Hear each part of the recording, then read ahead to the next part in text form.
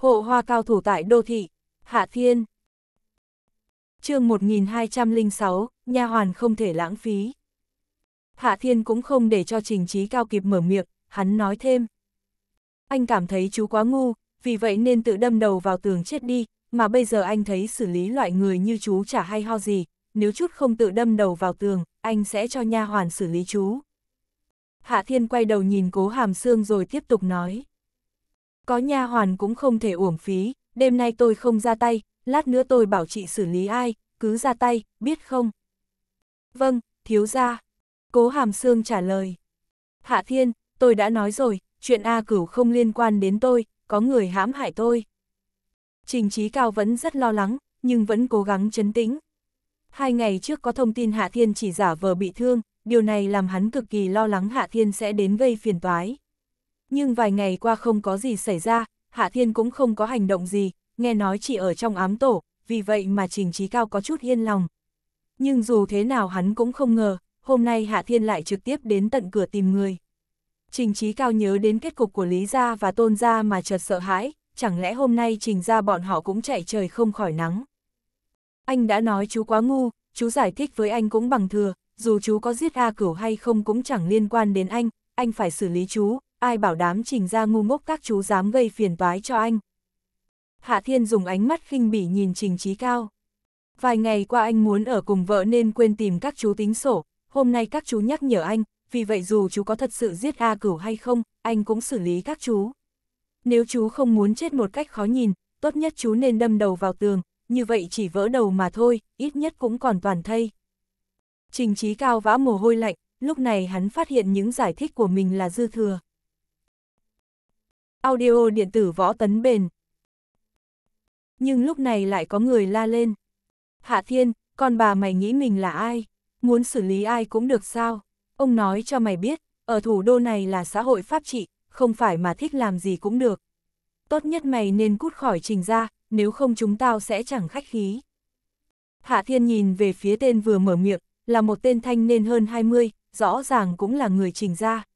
Nhưng Hạ Thiên không nhận ra người này, thực tế trong sân ngoài trình trí cao còn có cả trăm người nữa, nhưng Hạ Thiên chỉ cần liếc mắt là nhận ra đối phương.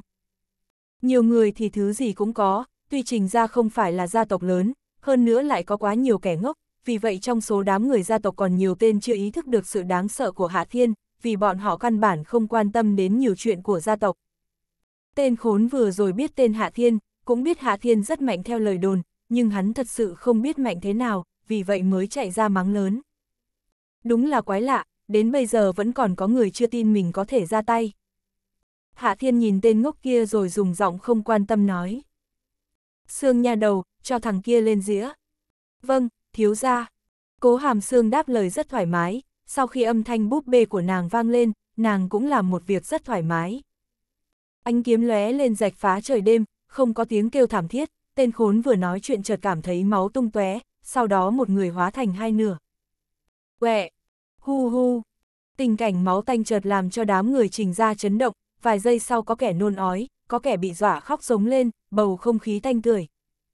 Hạ Thiên cũng ngây người, sau đó hắn nhìn cố hàm xương rồi cười hì hì. Sương nha đầu, làm rất hay, phải cho đám ngu kia hiểu, tôi làm gì thì sẽ làm cho bằng được. Cố hàm xương rất bình tĩnh, giống như chưa từng có gì phát sinh. Thực tế trong mắt người thường thì nàng giống như chưa từng động đậy, dù là sở giao cũng không thấy nàng tuốt kiếm khỏi vỏ, chỉ có một người thấy rõ ràng, đó là Hạ Thiên. Vị đạo cô này ra tay thật sự không hàm hồ, có lẽ trong mắt nàng thì tính mạng con người căn bản không có ý nghĩa. Lúc này sở giao cũng hiểu, nha hoàn của chồng mình, vị đạo cô xinh đẹp ăn mặc ổ quái này cũng không phải nhân vật bình thường. Dù là nàng bình thường hay vung tay xử lý kẻ khác, cũng thấy qua tình huống máu tanh, nhưng xử lý một người là một việc, chém thành hai phần lại là một việc khác. Lúc này người trình ra mới thật sự sợ hãi, có vài người bị dọa cho ngã xuống đất co quắp lại, còn trình trí cao cũng bị dọa cho hoảng sợ, nhưng vẫn có thể miễn cưỡng đứng vững. Hạ Thiên, oan có đầu nợ có chủ, chỉ có tôi gây phiền cho cậu, nếu cậu muốn làm gì tôi cũng được, cũng không liên quan đến đám người này. Trình trí cao cắn răng nói, hắn nghĩ rằng mình có thể áp chế cảm giác sợ hãi, nhưng giọng điệu run run lại bán rẻ chính bản thân mình. Hừ, không phải chỉ có chú em tìm phiền toái cho anh, mà cả trình gia đều tham gia, vì vậy phải xử lý sạch, nếu không sau này sẽ có đám ngu ngốc đến tìm phiền toái. Hạ Thiên lười biếng nói. Này, chú biết không, trước đó có một con đàn bà họ Lý ngu ngốc luôn tìm phiền toái cho anh, thiếu chút nữa đã nổ bom chết vợ anh, vì vậy anh cảm thấy mình nên nhổ cỏ tận gốc. Hơn nữa loại ngu ngốc như các chú cứ tiếp tục sống trên đời, không những lãng phí lương thực, hơn nữa còn làm cho con người ngày càng ngu. Anh thấy mình nên làm việc tốt, cho các người ra đi, coi như xong.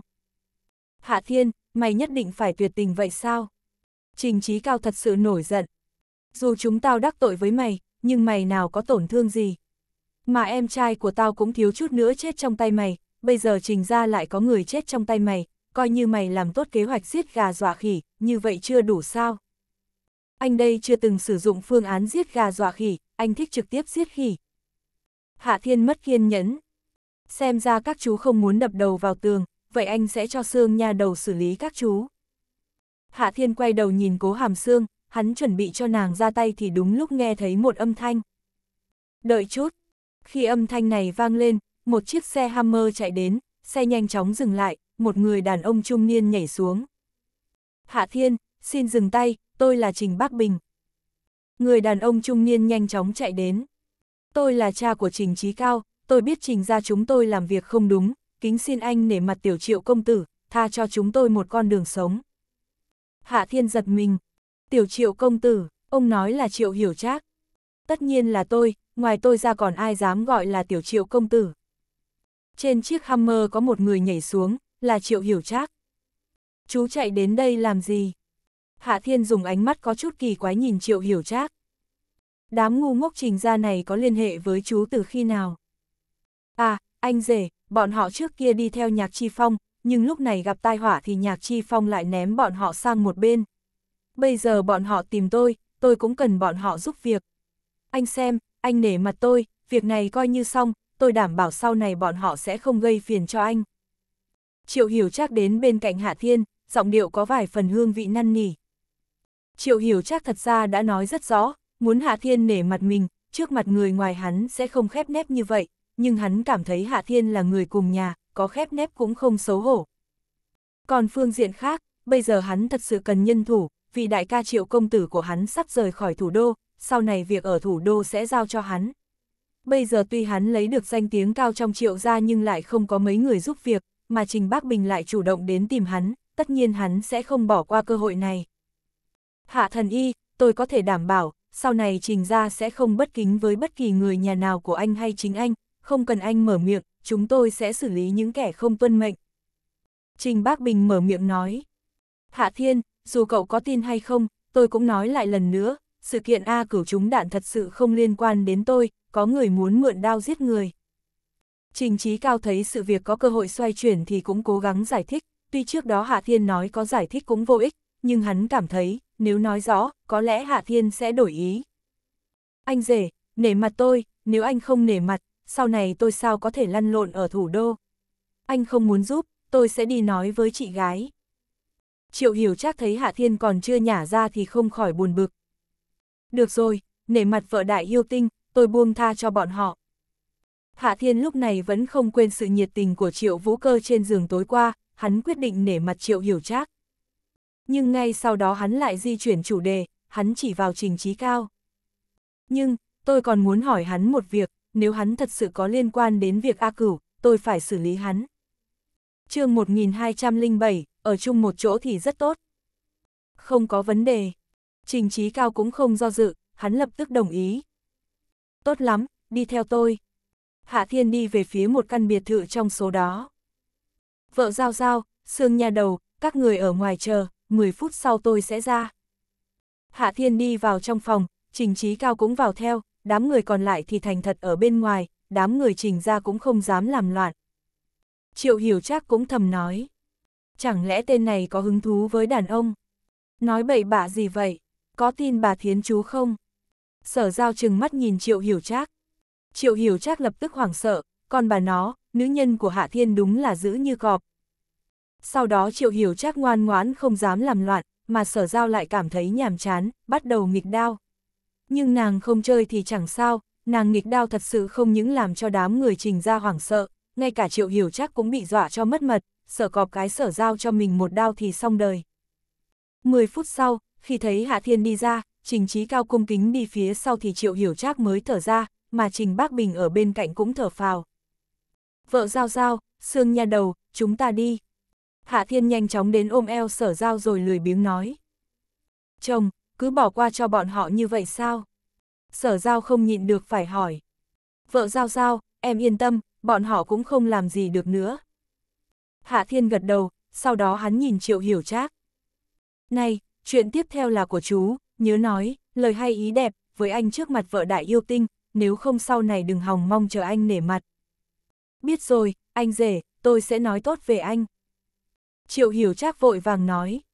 Hạ Thiên cũng không nói gì thêm, hắn nhanh chóng ôm sở giao bỏ đi, mà cố hàm xương cũng nhanh chóng theo sau. Khi thấy ba người bọn họ biến mất thì đám người. Trình ra mới hầu như ngã xuống đất, ai cũng thở dài một hơi, kẻ nào cũng sợ hãi. Đám người trình ra rất căng thẳng mà Hạ Thiên thì cực kỳ thoải mái, thực tế đối với hắn thì đám người trình ra có chết hay sống cũng không có ý nghĩa, vì hắn vững tin. Bọn họ căn bản không mang đến uy hiếp gì cho mình, vì thế hắn mới nể mặt triệu hiểu trác. Tất nhiên vì để bảo hiểm, hắn còn tiện tay thôi miên trình trí cao, một. Mặt muốn biết trình trí cao có phải là hung thủ đứng sau màn trong vụ ám sát A cửu hay không, phương diện khác cũng là như vậy, nếu trình ra sau này còn muốn tìm phiền toái, như vậy sẽ lập tức bị Hạ Thiên phát hiện, và tất nhiên hắn sẽ chẳng nể mặt mà xử lý. Đồng thời hắn cũng tin đám người trình ra ngoài tình huống đầu óc hư hại, nếu không sẽ chẳng tự đi tìm chết. Sau khi rời khỏi trình ra, Hạ Thiên nhanh chóng đưa sở giao quay về, sau đó lại có chút buồn bực, không biết nên ở lại với sở giao là tốt hay quay về ám tổ với Mộc Hàm và Mỹ Nhi. Hay đến yêu tinh biệt huyền để nhiệt tình với vợ đại yêu tinh. Bây giờ hắn vẫn còn rất hoài niệm cảm giác lăn lộn trên người vợ đại yêu tinh. Ở cùng một chỗ thì rất tốt. Hạ Thiên thầm nói, sau đó hắn bắt đầu suy xét khả năng khác. À, hay là mang sở giao đi tìm Mộc Hàm, sau đó đưa hai nàng đến yêu tinh biệt huyền, như vậy hoàn toàn có thể ngủ trên giường lớn. Đáng tiếc là kế hoạch chưa được áp dụng thì Hạ Thiên đã nhận được điện thoại, người gọi đến là Y Tiểu Âm. Rõ ràng Y Tiểu Âm chủ động điện thoại cho Hạ Thiên là sự kiện không tầm thường, vì thế Hạ Thiên cũng nhận điện thoại không chút do dự. Vợ Y Y, có phải chị muốn cảm tạ vì tôi đã tìm ra hung thủ thật sự? Thật ra chị cũng không cần cảm ơn, vì chị là vợ của tôi. Hạ Thiên bất cứ lúc nào cũng muốn kéo gần quan hệ với Y Tiểu Âm, nhưng hắn còn chưa nói dứt lời thì Y Tiểu Âm đã cắt ngang lời. Tôi đang ở đồn cảnh sát, tên thường tứ phương kia đã chết rồi. Y Tiểu Âm nói có chút bất mãn. Hạ Thiên chợt sướng sờ. Chết, sao mà chết, trước đó tôi đến gặp thì hắn vẫn còn tốt mà. Đầu trúng đạn, chết ngay tại chỗ, tôi cũng không kịp cứu sống hắn. Y Tiểu Âm dùng giọng đơn giản nói kẻ giết hắn cũng tự sát ngay tại chỗ, vì vậy căn bản không biết có chuyện gì xảy ra. Việc này thật sự có chút kỳ quái. Hạ Thiên thì thào nói, sau đó nhanh chóng nói một câu. Vợ y y, chị chờ tôi một chút, tôi sẽ đến ngay. Tôi muốn về y nhân các, cậu thích thì cứ đến cục công an, không liên quan gì đến tôi, mà tôi cũng không chờ cậu. Y tiểu âm tức giận nói, sau đó nàng cúp điện thoại. Hạ Thiên cũng ngây người với điện thoại, sau đó hắn phát hiện đêm nay vẫn tạm thời chưa thể thực hiện kế hoạch ngủ trên giường lớn, vì vợ y y thật sự rất mất hứng, cần phải đi an ủi. Vài phút sau Hạ Thiên dẫn cố hàm xương rời khỏi thường ra, lần này sở giao cũng không đi theo, nàng rất bận rộn, không có thời gian nghỉ ngơi. Bây giờ nàng cảm thấy mệt dã rời, mà cũng là buổi tối, nàng tính toán đi ngủ sớm một chút.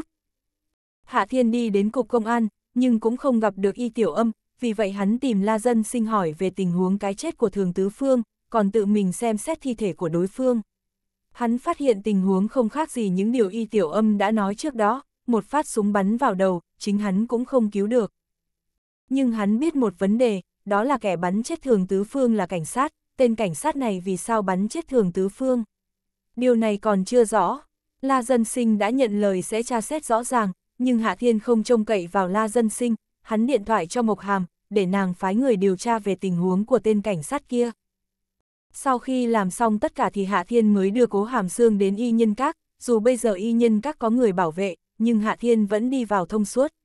Khi thập, cửu muội và thập bát muội thấy Hạ Thiên đưa một đạo cô xinh đẹp tiến vào, cả hai đều cảm thấy quái dị, càng nhịn không được thầm oán Hạ Thiên, sắc tổ trưởng đã tìm được thêm một người phụ nữ xinh đẹp làm vợ nữa rồi.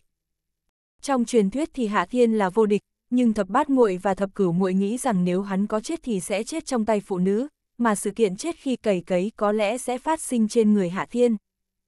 Cậu đến đây làm gì? Khi thập bát muội và thập cửu muội còn đang thầm oán Hạ Thiên thì âm thanh bất mãn của y tiểu âm đã vang lên. Vợ y y, tôi thấy chị không vui, vì vậy mới cố ý đến đây. Hạ Thiên nghiêm trang nói. Gặp cậu tôi càng không vui. Y tiểu âm tức giận nói. Khi thấy y tiểu âm giống như giận dỗi, thập bát muội và thập cửu muội đều lánh ra xa, nhưng cố hàm xương lại coi như không, nàng vẫn đứng cách Hạ Thiên không. Xa, thành thật thực hiện chức trách của nha hoàn. Vợ y y, vợ nói dối không phải vợ tốt, bây giờ chị nói dối, là không tốt đâu. Hạ Thiên nghiêm trang nói. Y tiểu âm chợt sinh ra xúc động môn bóp chết Hạ Thiên, trên đời này sao có loại đàn ông dày mặt như vậy. Mà nàng đã sớm có ý nghĩ bóp chết Hạ Thiên vạn lần. Tiểu thư không phải là vợ anh. A cửu lúc này không khỏi lên tiếng, đồng thời nàng còn liếc xéo Hạ Thiên. Tiểu thư nhà cô có phải vợ tôi hay không, điều này chỉ tiểu thư nhà cô mới biết, cô là nha hoàn thì đứng sang bên cạnh, đừng nói loạn. Hạ Thiên dùng ánh mắt bất mãn nhìn A Cửu. Nha hoàn phải có giác ngộ của nha hoàn, không thể nói xen lời, phải ngoan ngoãn nghe lời. Hạ Thiên nói đến đây thì quay đầu cười hì hì với cố hàm xương. Xương nha đầu, cũng là chị ngoan ngoãn, không ngoan hơn A Cửu kia. Anh! A Cửu dùng ánh mắt tức giận nhìn Hạ Thiên. Này, đừng nhìn tôi như vậy, cẩn thận kẻo tôi bảo vợ y y đổi nha hoàn. Hạ Thiên bất mãn nói. Tiểu thư sẽ không nghe lời anh. A cửu hừ một tiếng. Đừng tranh luận với cậu ta, mất thời gian. Y tiểu âm khẽ nói, nàng tất nhiên sẽ không nghe lời Hạ Thiên, nhưng nàng cũng biết, tranh luận với Hạ Thiên sẽ chẳng có kết quả gì. Vợ y y, chị nói không sai, nói chuyện với nha hoàn thật sự phí thời gian của tôi. Hạ Thiên lập tức đón lời. Y tiểu âm và A cửu chợt chán nản, đây là loại người gì? Chuông điện thoại vang lên xem như tạm thời làm hoàn hoãn bầu không khí, nhưng không phải là điện thoại của Hạ Thiên, là của Y Tiểu Âm. Y Tiểu Âm lấy điện thoại ra xem, nàng cau mày, sau đó trần trừ tiếp điện thoại. Chào anh, nhạc tiên sinh. Hạ Thiên chợt mất hứng, hắn mở miệng hỏi. Vợ Y Y, tên ngốc nhạc chi phong điện thoại đến sao? Y Tiểu Âm cũng không quan tâm đến Hạ Thiên, nhưng nhạc chi phong lại nghe thấy âm thanh của Hạ Thiên, hắn trầm mặc vài giây rồi nói. Y tiểu thư, Hạ Thiên đang ở cùng em sao? Thằng ngu, anh tất nhiên đang ở đây. Hạ Thiên tiến đến nói vào điện thoại của Y tiểu âm. Anh cảnh cáo chú em, đừng làm dối lên với vợ anh, nếu không anh xử lý chú. Cậu có phiền quá không? Y tiểu âm chừng mắt nhìn Hạ Thiên, sau đó đi cách xa Hạ Thiên 10 mét rồi nói vào trong điện thoại. Nhạc tiên sinh, anh có việc gì cứ nói thẳng ra. Nhạc chi phong trầm mặc vài giây, sau đó nàng chậm rãi nói. Y tiểu thư, tôi nghe nói đã tìm ra hung thủ nổ súng bắn chết A Cửu, hơn nữa tôi cũng nghe nói hung thủ sau màn là Trình Trí Cao. Trước đó Hạ Thiên đến tìm tính sổ với Trình Trí Cao, nhưng vì triệu gia có người giúp Trình gia, mà Hạ Thiên vì triệu vũ cơ nên bỏ qua cho Trình Trí Cao, chuyện này em đã biết chưa? chương 1208, đến đây nằm mơ. Bây giờ tôi đã biết. Vẻ mặt y tiểu âm chợt trở nên khó coi, nàng nhìn thoáng qua Hạ Thiên, sau đó lại hỏi không biết nhạc tiên sinh còn chuyện gì khác không? Y tiểu thư, chỉ hy vọng em có thể hiểu, Hạ Thiên chưa chắc quan tâm đến em, trong lòng hắn còn có rất nhiều người quan trọng hơn em. Nhạc Chi Phong nói đến đây thì Hạ Thiên đã xuất hiện ngay bên cạnh y tiểu âm, hắn giật lấy điện thoại trong tay nàng. Nhạc Chi Phong, thằng ngu này muốn châm ngòi ly gián sao? Chú đừng để anh chụp được, nếu không anh sẽ xử lý chú ngay tức khắc. Hạ Thiên bất mãn nói một câu vào điện thoại, sau đó trực tiếp treo điện thoại đưa điện thoại cho tôi. Y tiểu âm dùng ánh mắt phẫn nộ nhìn Hạ Thiên. Hạ Thiên rất dứt khoát, hắn lập tức đưa điện thoại vào trong tay y tiểu âm, còn tiện tay xoan nắn bàn tay ngọc của nàng.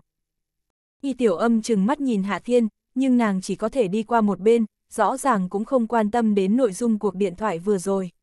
Nàng cũng hiểu mục đích của nhạc chi phong, đó là nói cho nàng biết, Hạ Thiên quan tâm đến triệu vũ cơ, mà không phải quan tâm đến nàng. Điều này có nghĩa rằng, dù bây giờ là nhạc chi phong cũng cho rằng y tiểu âm có quan hệ với Hạ Thiên, nhưng lại cho rằng nàng cam tâm tình nguyện. Đáng tiếc là chẳng những nhạc chi phong không biết, ngay cả những người ở thủ đô cũng không biết, đến bây giờ nàng cũng không tình nguyện ở cùng với Hạ Thiên. Quan hệ giữa nàng và hắn chỉ là vì ép buộc, mà bây giờ nàng sở dĩ không giải thích, đó chính là vì nàng không thể vứt đi tự tôn của mình, nàng không muốn mình là người đáng thương, không muốn người ta biết rõ, nàng là người bị đàn ông cưỡng hiếp.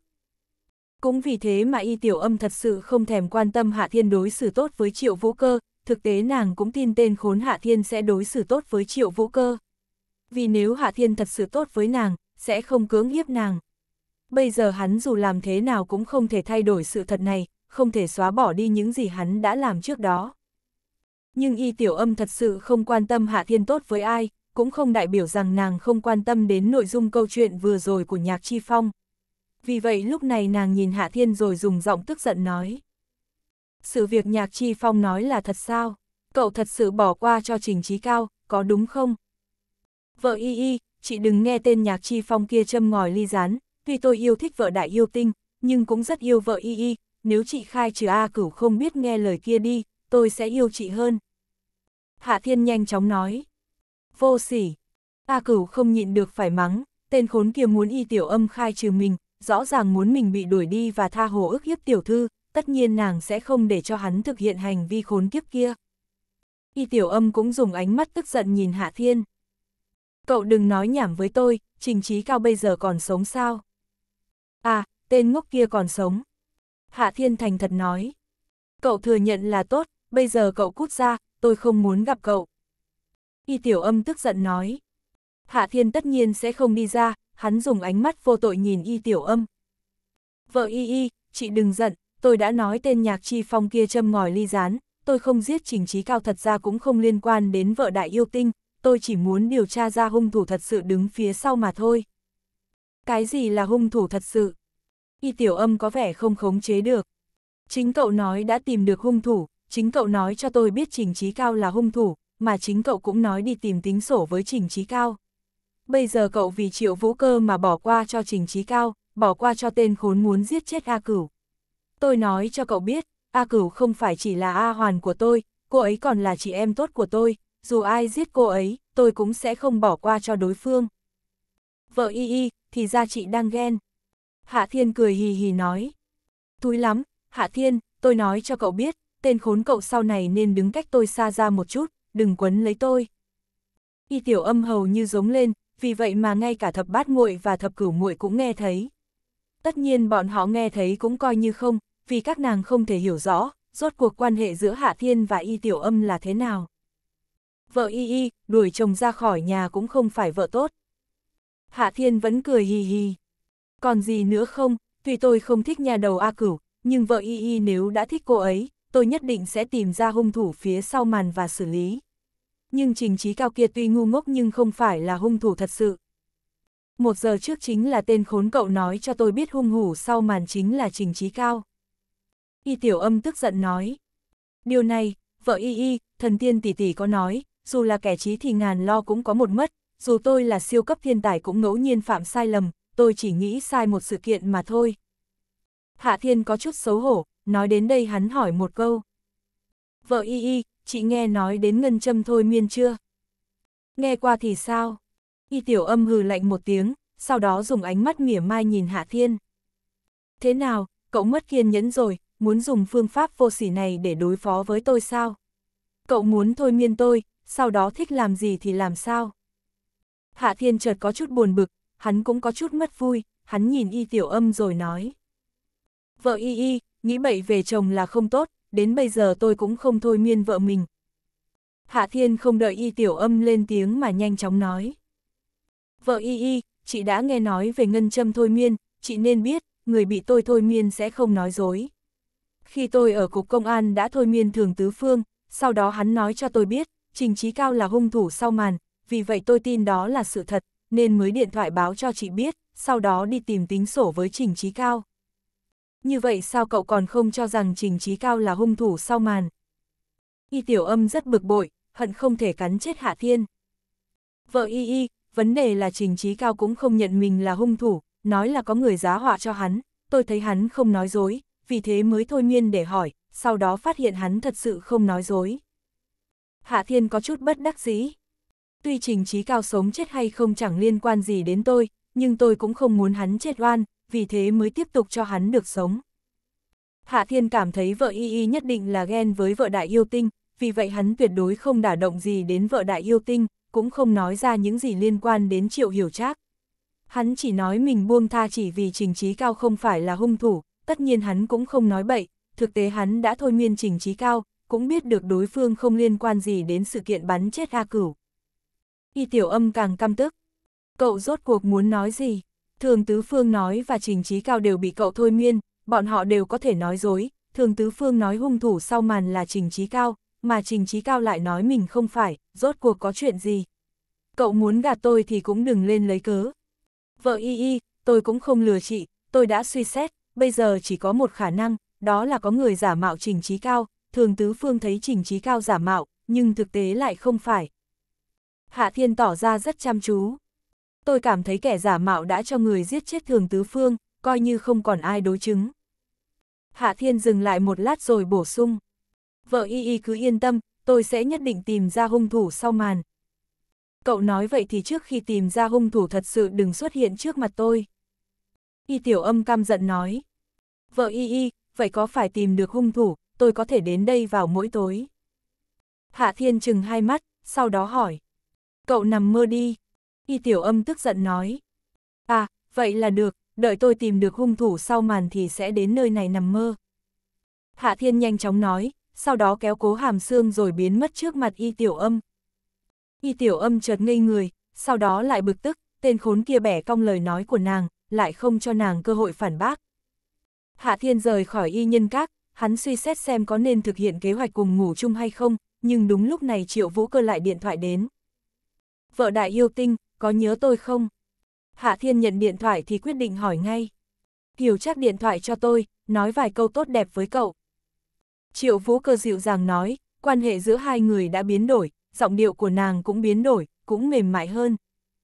Tên kia thường nói xấu về tôi sao? Hạ Thiên hỏi ngược lại. Không, chỉ là trước kia không nói tốt. Triệu Vũ Cơ khẽ nói. Này, không nói đến hiểu chắc nữa, cậu đang ở đâu? Tôi sẽ đến tìm chị. Hạ Thiên nhanh chóng nói. Được, tôi sẽ cúp điện thoại, lát nữa gặp mặt rồi nói sau. Triệu Vũ Cơ cúp điện thoại, sau đó nàng nhảy vào bể bơi. Vài phút sau Triệu Vũ Cơ thấy một âm thanh quen thuộc vang lên cạnh bể bơi. Vợ đại yêu tinh, chị đang bơi sao? Triệu Vũ Cơ duyên dáng xoay người trong nước, nàng biểu hiện tư thái đẹp nhất, sau đó nhìn về phía Hạ Thiên ở bên cạnh bể bơi rồi nở nụ cười quyến rũ. Cậu không thích xem tôi bơi sao? Chương 1209, hai người bơi lội đủ mọi kiểu. Dù đã là buổi tối nhưng bên cạnh hồ vẫn có đèn, cộng thêm thị lực của Hạ Thiên, tất nhiên vẫn nhìn thấy rất rõ ràng. Triệu vũ cơ mặc áo tắm, nhưng lúc này không còn là loại áo tắm áo liền quần bảo thủ như trước, mà là loại hai mảnh, điều này làm cho những đường cong và tư thái của nàng hầu như bộc lộ rõ ràng trước mắt Hạ Thiên. Triệu vũ cơ chậm rãi bơi tới bơi lui giống như một mỹ nhân ngư xinh đẹp, hai chân dài thỉnh thoảng biến đổi tư thế, xinh đẹp vô tận. Hạ Thiên nhìn có vẻ xuất thần, trong lòng vô tình bùng lên lửa nóng, vì vậy hắn mở miệng nói. Vợ đại yêu tinh, tôi muốn nói với chị một chuyện. Chuyện gì? Triệu vũ cơ vừa bơi tới bơi lui vừa dùng giọng không quá quan tâm nói. Tôi nghĩ rằng trước tiên nên nói cho chị biết, tôi không chỉ thích xem bơi lội, hơn nữa còn thích cùng bơi với chị. Hạ Thiên nói xong thì cởi sạch quần áo nhảy vào trong bể bơi, sau đó đi đến sau lưng ôm lấy eo triệu vũ cơ. Sắc lang. Triệu vũ cơ không nhịn được phải nói lời hờn dỗi, nàng cũng biết người này sẽ chẳng thành thật. Vợ đại yêu tinh, còn nhớ trước đó tôi đã nói, bơi tiên mới thoải mái nhất sao. Một tay của Hạ Thiên nhanh chóng đi động trên người triệu vũ cơ. Chúng ta cùng nhau tắm tiên. Hạ Thiên nói xong thì áo tắm cũng rời khỏi người triệu vũ cơ, sau đó bọn họ bắt đầu chơi trò nam nữ dẫn nước, hai người liên tục đưa ra những động tác khó, nếu là thế vận hội có môn nam nữ phối hợp như thế này, chắc chắn bọn họ sẽ đoạt giải nhất. Một giờ sau công chúa Sama không ngủ được nên đi lên bể bơi, sau đó nàng cùng tham gia, hai người trở thành ba người. Tiểu yêu tinh dưới lầu vừa vọc máy tính vừa thầm nói. Chị thật sự rất có cầu tiến, đêm nay lại hát bài ca cao nguyên. Ngày hôm sau, Hạ Thiên trái ôm triệu vũ cơ, phải ôm công chúa Sama ngủ rất say, mãi đến chưa còn chưa thức dậy. Tối qua hắn thật sự thực hiện kế hoạch ngủ trên giường lớn, nhưng chẳng qua cũng có hơi thay đổi. Nhưng trạng thái trái ôm phải ấp này cũng không bảo trì được bao lâu, một giờ sau Hạ Thiên bị tiếng chuông điện thoại đánh thức. Hạ Thiên chỉ có thể tạm thời bỏ tay khỏi bánh bao của công chúa Sama, hắn lấy điện thoại ra xem, người gọi đến tất nhiên là Mỹ Nhi, vì thế hắn lập tức nghe máy. Sao cậu còn chưa đến? Điện thoại vừa nối thông thì âm thanh mất vui của Mỹ Nhi chợt vang lên. Tất cả thành viên tham gia huấn luyện hôm nay đều đang chờ cậu. Vợ Mỹ Nhi, chị cũng chờ tôi sao? Hạ Thiên lười biếng hỏi. Tôi không chờ cậu. Mỹ Nhi tức giận nói. À, vậy thì không đi nữa. Hạ Thiên ngáp một cái. Tôi tiếp tục ngủ. Này, cậu làm gì vậy? Mỹ Nhi tức giận. Cậu không đến thì các thành viên luyện tập cái gì? Chuyện của bọn họ không liên quan đến tôi. Hạ Thiên không quan tâm nói. Nếu vợ Mị Nhi chờ tôi, tôi sẽ đi. Có người nói chuyện như cậu sao? Mị Nhi có chút mất hứng. Tóm lại cậu đến mau, nếu không sau này đừng đến tìm tôi. Mị Nhi rõ ràng đang giận, nàng cũng không muốn nói nhiều mà cúp điện thoại. Hạ Thiên đặt điện thoại xuống, trước tiên khẽ véo lên bánh bao của vợ công chúa Sama, sau đó gặm hai cái lên bánh bao của vợ đại yêu tinh. Đừng, người ta đang rất buồn ngủ. Triệu Vũ Cơ mở to mắt nhìn Hạ Thiên, nàng làm nũng lầm bầm một câu, sau đó nhắm chặt mắt. Vợ đại yêu tinh, tôi đi đến ám tổ, chỉ cứ tiếp tục ngủ, nếu tỉnh lại thì nhớ đánh thức vợ công chúa, cô ấy không cần tiếp tục ở lại chỗ này. Hạ Thiên nhanh chóng nói một câu. Biết rồi. Triệu Vũ Cơ mơ màng lên tiếng, sau đó nàng nhanh chóng tiến vào mộng đẹp, mà công chúa Sama bên kia vẫn ngủ rất ngon. Hạ Thiên cuối cùng cũng rời khỏi giường, rửa mặt đánh răng rồi đi ra khỏi yêu tinh biệt huyền. Trước cổng yêu tinh biệt huyền là một đạo cô xinh đẹp, đó là cố hàm xương. Tối qua Hạ Thiên cũng không cho cố hàm xương đi theo vào trong yêu tinh biệt huyền, chỉ cho nàng chờ ở đây. Sau đó Hạ Thiên cùng tắm tiên với triệu vũ cơ, đã vứt cố hàm xương lên 9 tầng mây, mãi đến bây giờ hắn mới nhớ nha hoàn này đã chờ hắn cả buổi. Sương nha đầu, chị cứ đứng mãi nơi đây không nhúc nhích sao?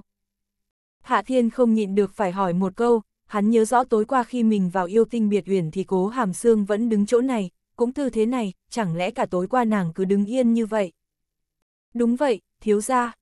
Cố hàm xương bình tĩnh trả lời, giống như đối với nàng thì chẳng đáng là gì. Hạ Thiên thầm nói, nha hoàn này đúng là nghe lời, đến mức không bình thường. Thực tế Hạ Thiên để cho cố hàm xương đi theo mình cũng không phải thấy rằng có một nha hoàn đẹp đẽ là có thể diện, mà vì hắn đến bây giờ vẫn chưa tín nhiệm cố hàm xương. Hắn cần nàng giúp vài việc, dạy nàng hoàn toàn nghe lời, sau đó hắn sẽ tính toán để cố hàm xương giúp hắn giải quyết đám người tu tiên kia. Nhưng bây giờ cố hàm xương rơi vào trạng thái Hạ Thiên nói gì nghe nấy, điều này làm Hạ Thiên thật sự không rõ, chẳng lẽ cũng vì hắn giúp cố hàm xương giết chết Trang Vân Đông, vì vậy nàng mới nghe lời thế này.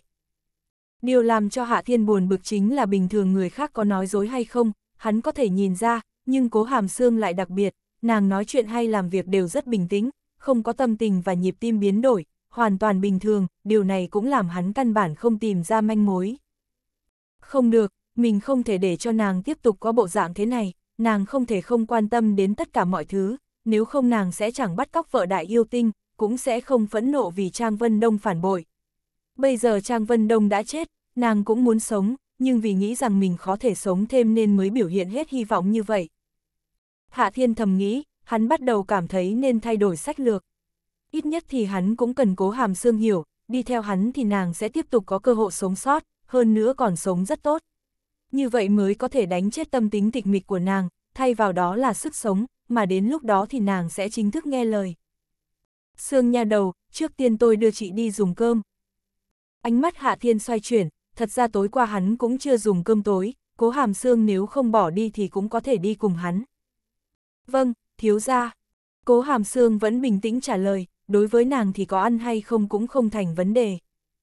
Tất nhiên đối với loại người tu tiên, một ngày không ăn cơm sẽ không có vấn đề quá lớn, ví dụ như Hạ Thiên, dù hắn không ăn cơm, dù bụng có hơi đói nhưng cũng không có ảnh hưởng quá lớn, vẫn khỏe như voi như hổ, tối qua thậm chí còn làm vài phát song phi. Sương nha đầu, thiếu gia mang chị đi ăn món ngon. Hạ Thiên cười hì hì kéo tay cố hàm Sương, nhìn có vẻ như muốn chiếm tiện nghi của nàng, nhưng hắn lại tra xét cơ thể của nàng, sau đó hắn phát hiện nàng thật sự chưa ăn gì, rõ ràng tối qua đứng yên không nhúc nhích. Hạ Thiên vừa rồi thức dậy nghĩ rằng sẽ đến ám tổ dùng cơm, nhưng bây giờ hắn thay đổi, hắn cố ý kéo cố hàm xương đến phố ăn chay, đến một nhà hàng khá nổi tiếng. Sương nha đầu, không phải chỉ thích ăn chay sao, chỗ này có nhiều món ngon. Hạ Thiên kéo cố hàm xương đến ngồi xuống bên cạnh một cái bàn, mãi đến lúc này hắn mới buông tay cố hàm xương. Hắn có chút khó hiểu, xương nhà đầu này như là gỗ đá, đi cả đường mà tâm tình không chút biến đổi, nhịp tim như thường, vì vậy mà hắn bắt đầu nghi ngờ nàng là người máy. Tiên sinh, tiểu thư, hai người muốn ăn gì? Nhân viên phục vụ đi đến tay cầm menu chuẩn bị đưa cho Hạ Thiên. Mỗi thứ một phần là được. Hạ Thiên thuận miệng nói. Mỗi thứ một phần. Nhân viên phục vụ ngây người, tưởng rằng mình nghe lầm. Đúng vậy, mỗi thứ một phần. Hạ Thiên gật đầu khẳng định. Vâng, tiên sinh xin chờ chút. Nhân viên phục vụ cũng không nói gì mà xoay người bỏ đi. Thức ăn được nấu trong nhà hàng này là khá ngon, mà mức độ cũng khá đúng, đối với hai người thì thật sự là hơi nhiều. Tất nhiên nếu hai người kia là kẻ bình thường thì không có vấn đề, khốn nổi đó lại là Hạ Thiên, vì vậy nên sau đó tất cả nhân viên phục vụ và khách hàng đều mắt tròn mắt dẹt, đều bị sức ăn của Hạ Thiên làm cho kinh hoàng. Lúc này trồng dĩa trước mặt Hạ Thiên cũng làm người ta sợ hãi, ít nhất cũng phải cả trăm chén dĩa. Một số người nhìn cố hàm xương ăn mặc như đạo cô mà thầm nghĩ, hai người này vừa trong núi ra sao. xương nha đầu, thức ăn ở đây thế nào? Sau khi tiêu diệt tất cả thức ăn, Hạ Thiên bắt đầu hỏi thăm cố hàm xương đã sớm bỏ đũa. Ăn ngon, cảm ơn thiếu gia. Cố hàm xương trả lời. Ăn ngon là được, sau này tôi sẽ thường xuyên đưa chị đến đây dùng cơm. Hạ Thiên rất hài lòng, sau đó hắn vẫy tay với nhân viên phục vụ. Tính tiền. Vâng, thưa tiên sinh, tổng cộng là 53.800 đồng, ông chủ nói có tính chiết khấu, chỉ lấy anh 50 ngàn. Nhân viên phục vụ nói ra mà cảm thấy có chút ngại ngùng, rõ ràng nàng cảm thấy tính tiền hơi đắt. chương 1210, cạo đầu nó đi. Khi nhân viên phục vụ có chút lo lắng thì Hạ Thiên cũng không có ý mặc cả, hắn sảng khoái lấy thẻ ngân hàng ra quét máy thanh toán. Điều này cũng làm cho cô nhân viên phục vụ khẽ thở ra một hơi, không phải bọn họ làm thịt khách hàng, chỉ trách hai người này ăn quá nhiều. Hạ Thiên tất nhiên không quan sát ánh mắt đám người chung quanh, sau khi tính tiền xong thì đứng lên kéo cố hàm xương chuẩn bị bỏ đi. Nếu hắn không đến căn cứ ám tổ, sợ rằng vợ Mị Nhi sẽ nổi giận. Nhưng khi hai người bọn họ ra khỏi cửa nhà hàng, Hạ Thiên chợt nghe thấy một âm thanh từ phía sau. Đây là thời đại nào rồi, còn bà nó, tán một con Nico mà cũng phung phí nhiều tiền như vậy, thả đến địa Hạ Thiên đường kiếm tiểu thư cho rồi. Người này nói không quá lớn, rõ ràng không muốn Hạ Thiên nghe thấy, nhưng đáng tiếc là hắn không biết thính lực của Hạ Thiên vượt xa người thường, vì thế tuy hắn không lớn tiếng nhưng Hạ Thiên vẫn nghe rõ ràng. Hạ Thiên không ngại bị người ta nói ăn nhiều, nhưng hắn bị gọi là thằng ngu thì đúng là mất vui. Thật ra mọi thứ có thể nhịn, nhưng khốn nổi hắn không tán cố hàm xương, mà cố hàm xương cũng không phải là Nico. Hạ Thiên mất kiên nhẫn quay đầu nhìn đối phương, thì ra là một tên đàn ông còn trẻ, ngồi cùng bàn còn có hai tên đàn ông khác. Khi Hạ Thiên quay đầu nhìn thì một tên nói, cũng không như vậy được, những năm nay muốn tìm một con hàng, còn trinh lỗ rún còn khó, vậy thì mày biết rồi đấy, Nico tất nhiên sẽ có khả năng máy móc chưa, giá. Còn XXX, tao nghe nói sư cô thường được thầy chùa thăm viếng. Tên đàn ông thứ ba tỏ ra nghi ngờ. Này, hai người chúng mày có vấn đề gì sao? Mắt mờ à, tao thấy con kia không phải là Nico. Ba thằng ngu. Hạ thiên mắng một câu, sau đó hắn rút kiếm trên lưng của cố hàm xương rồi ném ra ngoài. Phập, trường kiếm được ném ra giống như có mắt, cắm giữa bàn ba tên đàn ông. Á, tên đàn ông lúc nãy vừa mắng Hạ Thiên chợt kêu lên kinh hoàng, hai tên còn lại cũng giật mình, không khỏi đứng lên. Hạ Thiên kéo cố hàm xương đi đến bên cạnh bàn, hắn vỗ một trưởng lên bàn, một tiếng ầm vang lên, bàn gãy đổ, hắn lại vung tay chụp lấy kiếm. Thanh kiếm gác lên cổ tên khốn vừa chửi Hạ Thiên. Mày, mày muốn làm gì? Tên đàn ông kia hoảng sợ nói, giọng điệu run rẩy. Thằng ngu, chú nhìn xem, chị ấy là đạo cô, không phải ni cô. Hạ Thiên dùng ánh mắt bất mãn nhìn tên đàn ông này rồi nói. Mà anh không cua chị ấy, chị ấy là tiểu nha hoàn nhà anh, anh bảo gì thì làm đó. Tôi, tôi chỉ nói chơi mà thôi. Tên đàn ông này thật sự muốn khóc, còn bà nó, chỉ nói chơi một câu mà mang họa sát thân sao. Xem ra sau này nên ăn nói cẩn thận. Sương nhà đầu, tên ngốc này nói chị là Nico, tôi thấy nên cho hắn làm hòa thượng, chị cạo đầu hắn cho tôi. Hạ Thiên quay đầu nhìn cố hàm xương rồi nói. Vâng, thiếu gia. Cố hàm xương lên tiếng, nàng tiếp nhận bảo kiếm trong tay Hạ Thiên, sau đó cổ tay khẽ dung hóa thành muôn ngàn kiếm quang. Vô tình nhà hàng chợt tĩnh lặng, dù là nhân viên phục vụ hay khách khứa đều không dám thở mạnh. Vài chục giây sau cố hàm xương đã thu kiếm vào vỏ, mà tên khốn ăn nói lung tung đã biến thành một tên đầu chọc. Anh rất bận rộn, cũng không muốn chơi với chú, vì thế xem như chú may mắn, nếu không anh sẽ chẳng biến chú thành hòa thượng, mà là thái giám. Hạ Thiên chừng mắt nhìn tên đầu bóng, sau đó hắn vung tay, hai tên đang đứng cũng ngã xuống đất, cuối cùng hắn giữ tay cố hàm xương. Sương nha đầu, đi thôi. Trước khi đi Hạ Thiên nói với nhân viên phục vụ một câu. Nhớ bắt ba tên này bồi thường tiền cái bàn bị vỡ. Nhân viên phục vụ đang ngây người, khi nàng chợt phản ứng thì Hạ Thiên và Cố Hàm Sương đã biến mất không còn tâm hơi. Ha ha! Sau giây phút khiếp sợ, có người không nhịn được mà cười lớn, sau đó tất cả đều cười. Khi Hạ Thiên đưa nha hoàn xinh đẹp Cố Hàm Sương về căn cứ ám tổ thì cũng không quá muộn, nhưng khi thấy hắn thì Mị Nhi rất mất hứng. Cậu còn đến làm gì? Mị Nhi thở phì phò nói. Không phải cậu nói sẽ không đến sao? Vợ Mị Nhi, tôi vừa nhận điện thoại của chị là vội vàng thức dậy ăn cơm và chạy đến đây, cũng không chậm chế một phút nào.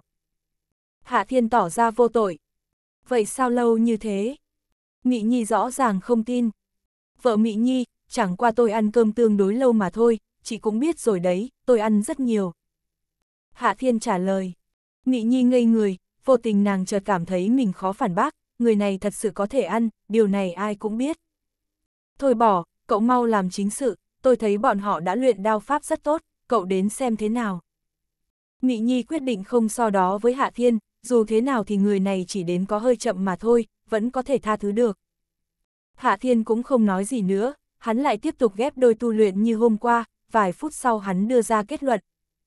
Này, vợ Mị Nhi nói rất đúng, đao pháp của các người cơ bản không có vấn đề, sau này nên rèn luyện nhiều hơn, mỗi ngày một ít, nhớ là khi ra tay cần hung ác, phải mạnh mẽ lên. Hạ Thiên dừng lại một chút rồi nói thêm.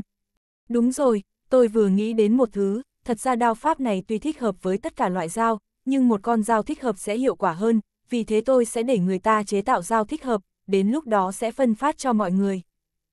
Cậu nhờ ai chế tạo dao? Mị Nhi không nhịn được phải hỏi. Vợ Mị Nhi, chị cầm giấy bút, tôi sẽ vẽ ra, sau đó cho người rèn ra là được. Hạ Thiên Thuận miệng nói. Vậy thì được. Mị Nhi suy nghĩ, nàng cảm thấy điều này không có vấn đề, chỉ cần có bản vẽ là tốt, tìm người rèn là không khó. Mị Nhi nhanh chóng lấy giấy bút, Hạ Thiên mất 10 phút thì vẽ xong một con dao nhỏ đưa cho Mị Nhi. Mị Nhi xem qua thì mất hứng. Cậu sao lại vẽ đơn giản sao? Thế này thì làm ra rất nhiều loại dao. Hình như vậy. Hạ Thiên suy nghĩ, phát hiện bức tranh của mình thật sự không rõ ràng. Ít nhất cậu cũng cho biết độ dài, độ dày, chiều dài lưỡi dao, nếu không thì sao có thể chế tạo. Mị Nhi còn nói, điều này, hình như tôi không nghiên cứu số liệu cụ thể. Hay là thế này, tôi chế tạo một cây làm mẫu. Hạ Thiên nghĩ tới nghĩ lui, cuối cùng cho ra biện pháp như vậy.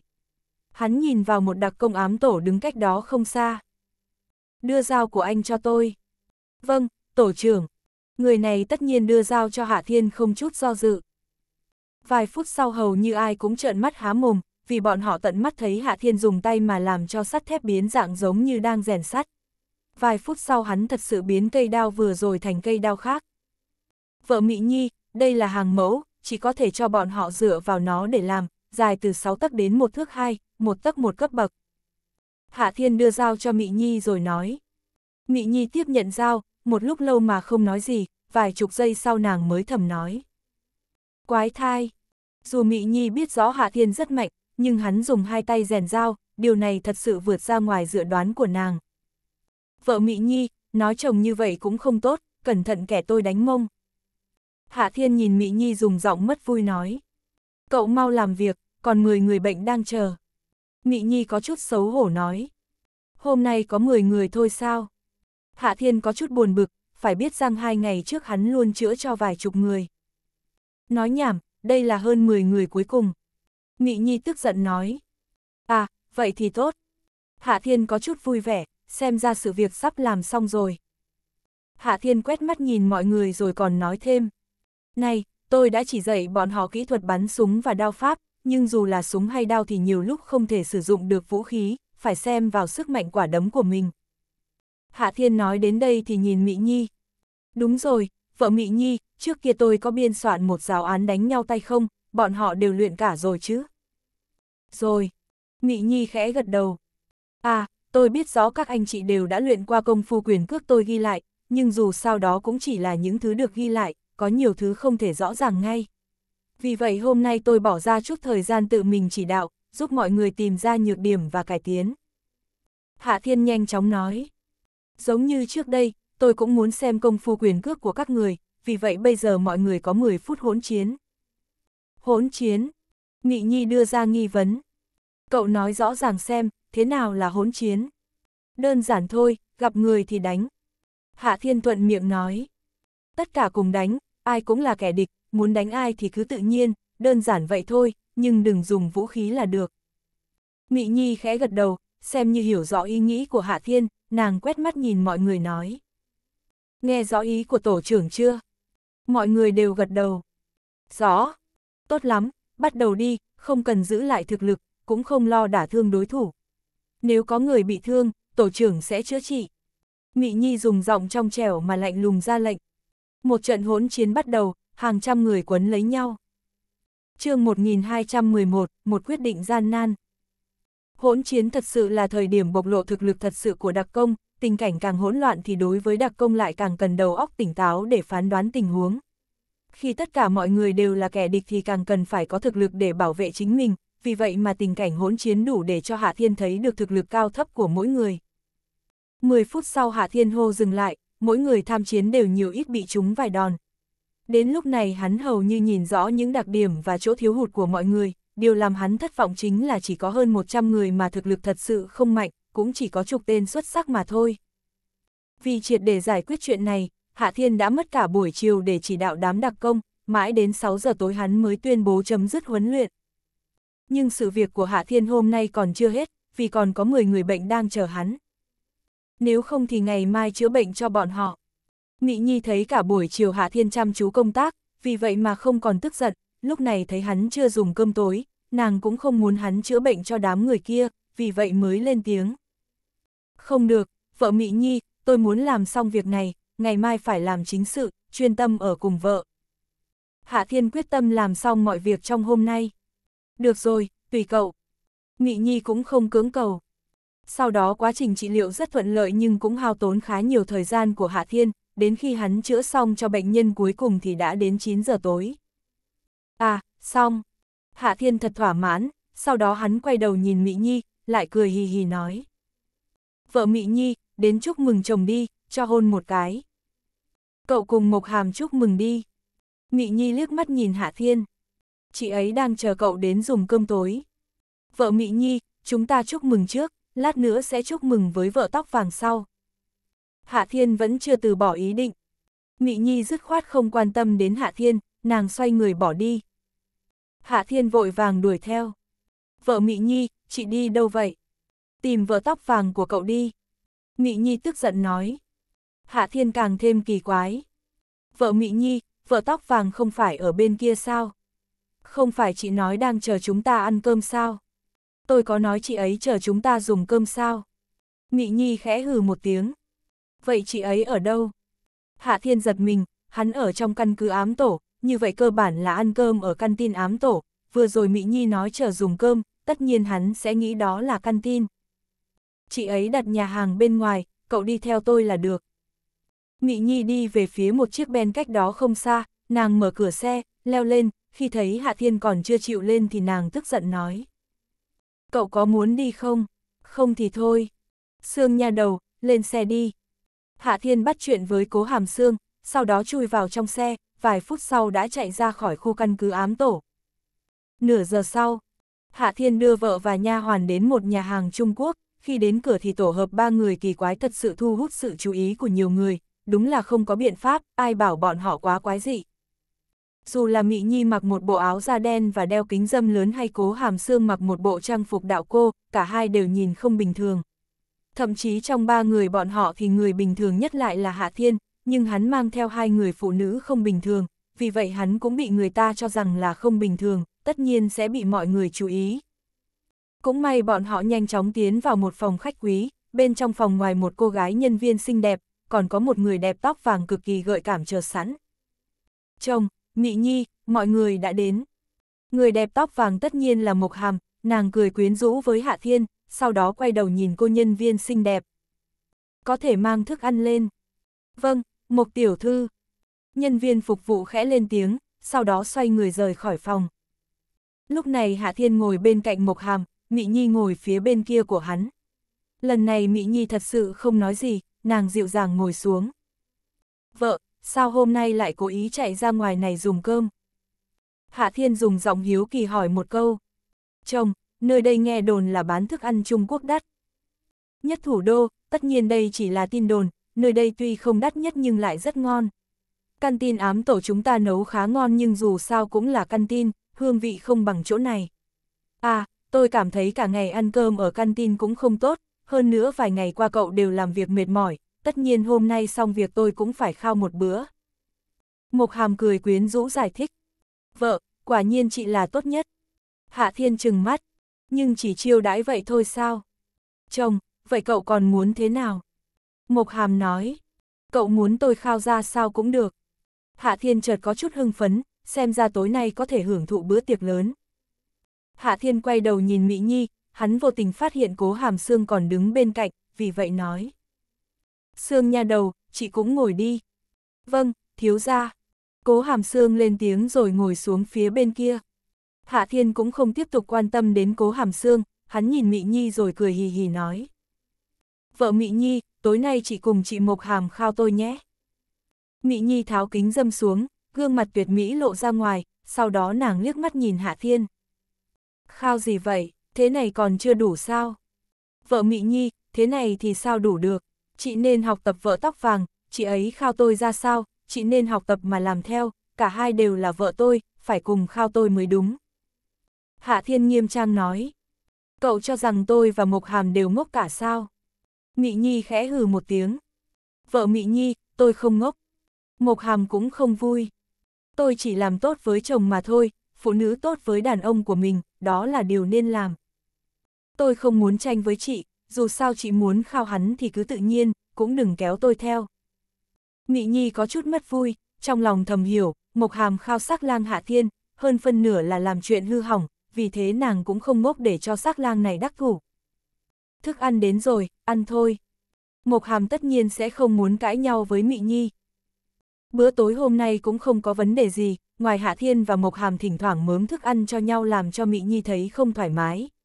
Nhưng Hạ Thiên muốn mớm cho Mị Nhi, nhưng nàng thật sự không chịu. Nói tóm lại bữa tối hôm nay thật sự không có gì vui với Mị Nhi, nàng thấy Hạ Thiên hoan ái với Mộc Hàm thì trong lòng có chút đố kỵ, nhưng nếu hắn làm vậy với nàng, thì nàng thật sự không chịu được. Ngược lại thì cố hàm xương thật sự có tố chất tâm lý không phải tốt bình thường, nàng cũng không có phản ứng nào với hành vi thân mật của Hạ Thiên và Mộc Hàm. Sau bữa cơm tối, Mị Nhi đưa ra một quyết định khó khăn, đó chính là sau này không nên cùng Hạ Thiên và Mộc Hàm dùng cơm, thậm chí hoàn toàn không nên theo chân bọn họ. Sau này nàng có thể nói chuyện với Mộc Hàm, có thể dùng cơm với Hạ Thiên, nhưng tuyệt đối không đi cùng với hai người bọn họ, nếu không chẳng khác nào tra tấn. Cơm tối chấm dứt thì đã hơn 10 giờ, Mị Nhi thừa dịp Mộc Hàm tính tiền thì đứng lên. Tôi về trước. Mị Nhi không để cho Hạ Thiên và Mộc Hàm kịp phản đối, nàng lách người bỏ đi. Mộc Hàm không đuổi theo, nàng dù có muốn cũng không kịp, Hạ Thiên cũng không đuổi theo, hắn còn muốn được Mộc Hàm khao. Chẳng qua hắn thấy có chút đáng tiếc, vợ Mị Nhi quá nhỏ mọn, cũng không chịu cùng vợ tóc vàng khao mình. Vài phút sau Hạ Thiên cuối cùng ôm vòng eo mềm mại của Mộc Hàm đi ra khỏi phòng khách VIP, chuẩn bị rời khỏi nhà hàng, mà cố Hàm Sương nghe lời kia cũng vẫn đi theo như hình với bóng. Khanh khách, một tiếng cười truyền vào trong tai Hạ Thiên, một phòng VIP khác cũng mở cửa, một cặp nam nữ đi ra. Cặp nam nữ này còn khá trẻ, hơn 20, tên đàn ông cao lớn anh Tuấn, dài tây, phong độ nhẹ nhàng. Người phụ nữ cũng rất xinh xắn, ăn mặc gợi cảm, khí thế quý. Phái bức người, quần áo, dây chuyền, vòng tai, nhẫn. Chỉ cần nhìn qua là biết rất đắt đỏ. Người đẹp quý phái này đang rất vui vẻ, sau đó nàng thấy được Hạ Thiên và Mộc Hàm, vì vậy mà ngây người. Những năm nay phụ nữ xinh đẹp này luôn là thiên địch của phụ nữ xinh đẹp khác, khi thấy Mộc Hàm đẹp hơn mình, trong lòng nàng chợt có chút ghen tị. Tất nhiên người đẹp này tuy ghen tị cũng không nói gì, chỉ nhìn Mộc Hàm vài lượt mà thôi, nhưng lúc này tên đàn ông anh Tuấn lại bắt chuyện với Hạ Thiên. Hạ Thiên, đúng là trùng hợp. Hạ Thiên ngây người, hắn nhìn tên đàn ông kia. Anh là ai? Tôi là Tống Vệ Dân. Người đàn ông anh Tuấn nói. Cậu có lẽ không biết tôi, nhưng em của tôi thì cậu rất quen thuộc, cô ấy là Tống Ngọc Mị. Thì ra là anh của vợ Mị Mị. Hạ Thiên à một tiếng, sau đó thuận miệng hỏi. Anh cùng vợ đến đây dùng cơm sao? Tống vệ dân không trả lời câu hỏi của Hạ Thiên, hắn nhìn Mộc Hàm, lại nhìn cố hàm xương, hắn khẽ trao mày rồi dùng giọng không vui hỏi. Hạ Thiên, cậu trái ôm phải ấp, hình như có lỗi với em tôi thì phải. chương 1212, y tiểu âm rời khỏi thủ đô. Không liên quan đến anh. Hạ Thiên lập tức mất hứng, người này muốn tìm phiền toái cho mình sao? Hạ Thiên, tuy đây là chuyện riêng của cậu, nhưng Ngọc Mị là em tôi, tôi quan tâm đến em gái cũng không có vấn đề gì chứ. Tống vệ dân thản nhiên nói. Cậu phải biết rằng, Ngọc Mị không chỉ là em của tôi, còn là người nắm cả Tống ra, với thân phận của cô ấy, không thể làm tình nhân cho cậu được. Anh cũng biết vợ Mị Mị là chủ của Tống gia, vì vậy vợ Mị Mị thích tôi là được, anh nói gì cũng không liên quan đến tôi. Hạ Thiên dùng ánh mắt mất hứng nhìn Tống vệ dân. Nể mặt vợ Mị Mị, tôi không so đo với anh, nếu anh còn tiếp tục lắm lời, tôi sẽ cho anh câm luôn. Hạ Thiên không đợi Tống vệ dân lên tiếng mà ôm Mộc Hàm đi ra ngoài. Vợ, đừng quan tâm đến hắn, tên này đang ghen ghét tôi. Hạ Thiên và Mộc Hàm nhanh chóng biến mất, cố Hàm Sương cũng nhanh chóng đuổi theo.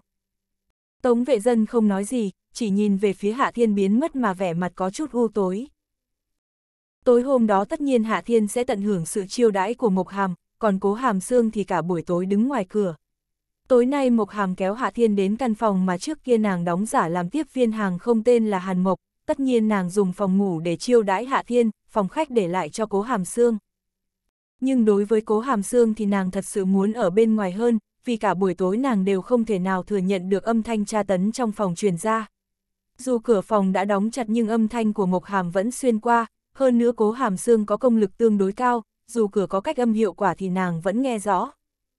Mãi đến sáng sớm thì những âm thanh làm người ta bừng bừng lửa dục nhưng với cố hàm xương chỉ là những tạp âm mới biến mất, mà cố hàm xương cũng có thể nghỉ ngơi được một lát.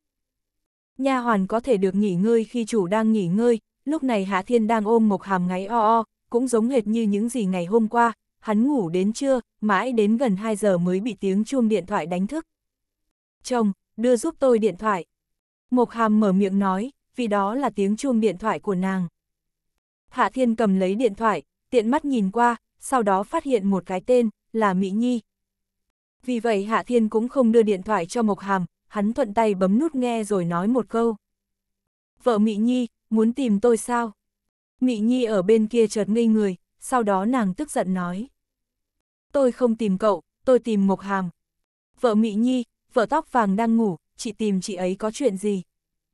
Hạ Thiên không có ý trả điện thoại cho Mộc Hàm, Cậu quan tâm tôi tìm chị ấy làm gì sao? Mị Nhi càng mất hứng, tuy nàng biết Hạ Thiên và Mộc Hàm ở cùng một chỗ, nhưng bây giờ được chứng thực qua điện thoại, nàng vẫn cảm thấy mất hứng. Sắc lang này đúng là không biết xấu hổ, luôn mồm nói nàng là vợ, trong lòng lại ôm người phụ nữ khác, đúng là cần ăn đòn. Vợ Mỹ Nhi, thật ra vợ tóc vàng nghe điện thoại, tôi cũng có thể nghe được, vì vậy chỉ có chuyện gì cứ nói với tôi. Hạ Thiên cười hì hì nói, hắn cũng không muốn biết có chuyện gì, chẳng qua chỉ muốn nói chuyện với mỹ Nhi mà thôi. Mị Nhi có chút tức giận, nhưng nàng cũng hiểu lời của Hạ Thiên là thật, mà nàng cũng muốn thông qua Mộc Hàm để chuyển cáo cho hắn biết một chuyện, vì thế dù có tức giận thì nàng cũng tiếp tục nghe điện thoại, nàng nhanh chóng nói. Hừ, tôi cũng không mò mẫm, tôi muốn cho cậu biết một sự kiện, y tiểu âm đã rời khỏi thủ đô. Mị Nhi cũng không đợi Hạ Thiên nói lời nào, nàng cúp điện thoại. Hạ Thiên ngây người, vợ y y rời khỏi thủ đô sao đột nhiên như vậy? Chồng, Mỹ Nhi điện thoại đến có chuyện gì vậy? Mộc Hàm lúc này cũng có chút thanh tỉnh, nàng leo lên người Hạ Thiên rồi nũng nịu hỏi. Chị ấy nói vợ Y Y đã rời khỏi thủ đô. Hạ Thiên đặt điện thoại xuống, hai tay đặt lên mông của Mộc Hàm, trên mặt có chút mê hoặc. Có chút kỳ quái, sao lại chạy đi rồi? Mỹ Nhi có nói cho cậu biết Y tiểu âm đi đâu không? Mộc Hàm hỏi. Không, vợ Mỹ Nhi cúp điện thoại ngay. Hạ Thiên lắc đầu nói. Tôi hỏi tình huống một chút. Mộc Hàm cầm lấy điện thoại gọi một dãy số, cũng không phải gọi cho Mỹ Nhi, là gọi cho thập bát muội là người của ám tổ đang bảo vệ y tiểu âm. Tình huống nhanh chóng rõ ràng, sáng nay y tiểu âm rời khỏi thủ đô, bây giờ đã đến mục đích, nhưng mục đích này thật sự vượt xa dự đoán của Hạ Thiên, vì đó là Cảng Thành, cũng là nơi hắn từng ở một khoảng thời gian. Còn y tiểu âm đến Cảng Thành làm gì, thập bát muội cũng không hiểu rõ, nàng chỉ phụ trách vấn đề an toàn của y tiểu âm, còn y tiểu âm muốn làm gì, nàng cũng không quan tâm. Chồng, cậu cũng đừng lo lắng, có lẽ không có vấn đề gì, cô ấy chỉ đến Cảng Thành làm chút chuyện, thật ra cậu cũng có thể gọi điện thoại. Mộc hàm khẽ an ủi Hạ Thiên. Lát nữa tôi sẽ điện thoại cho vợ y y.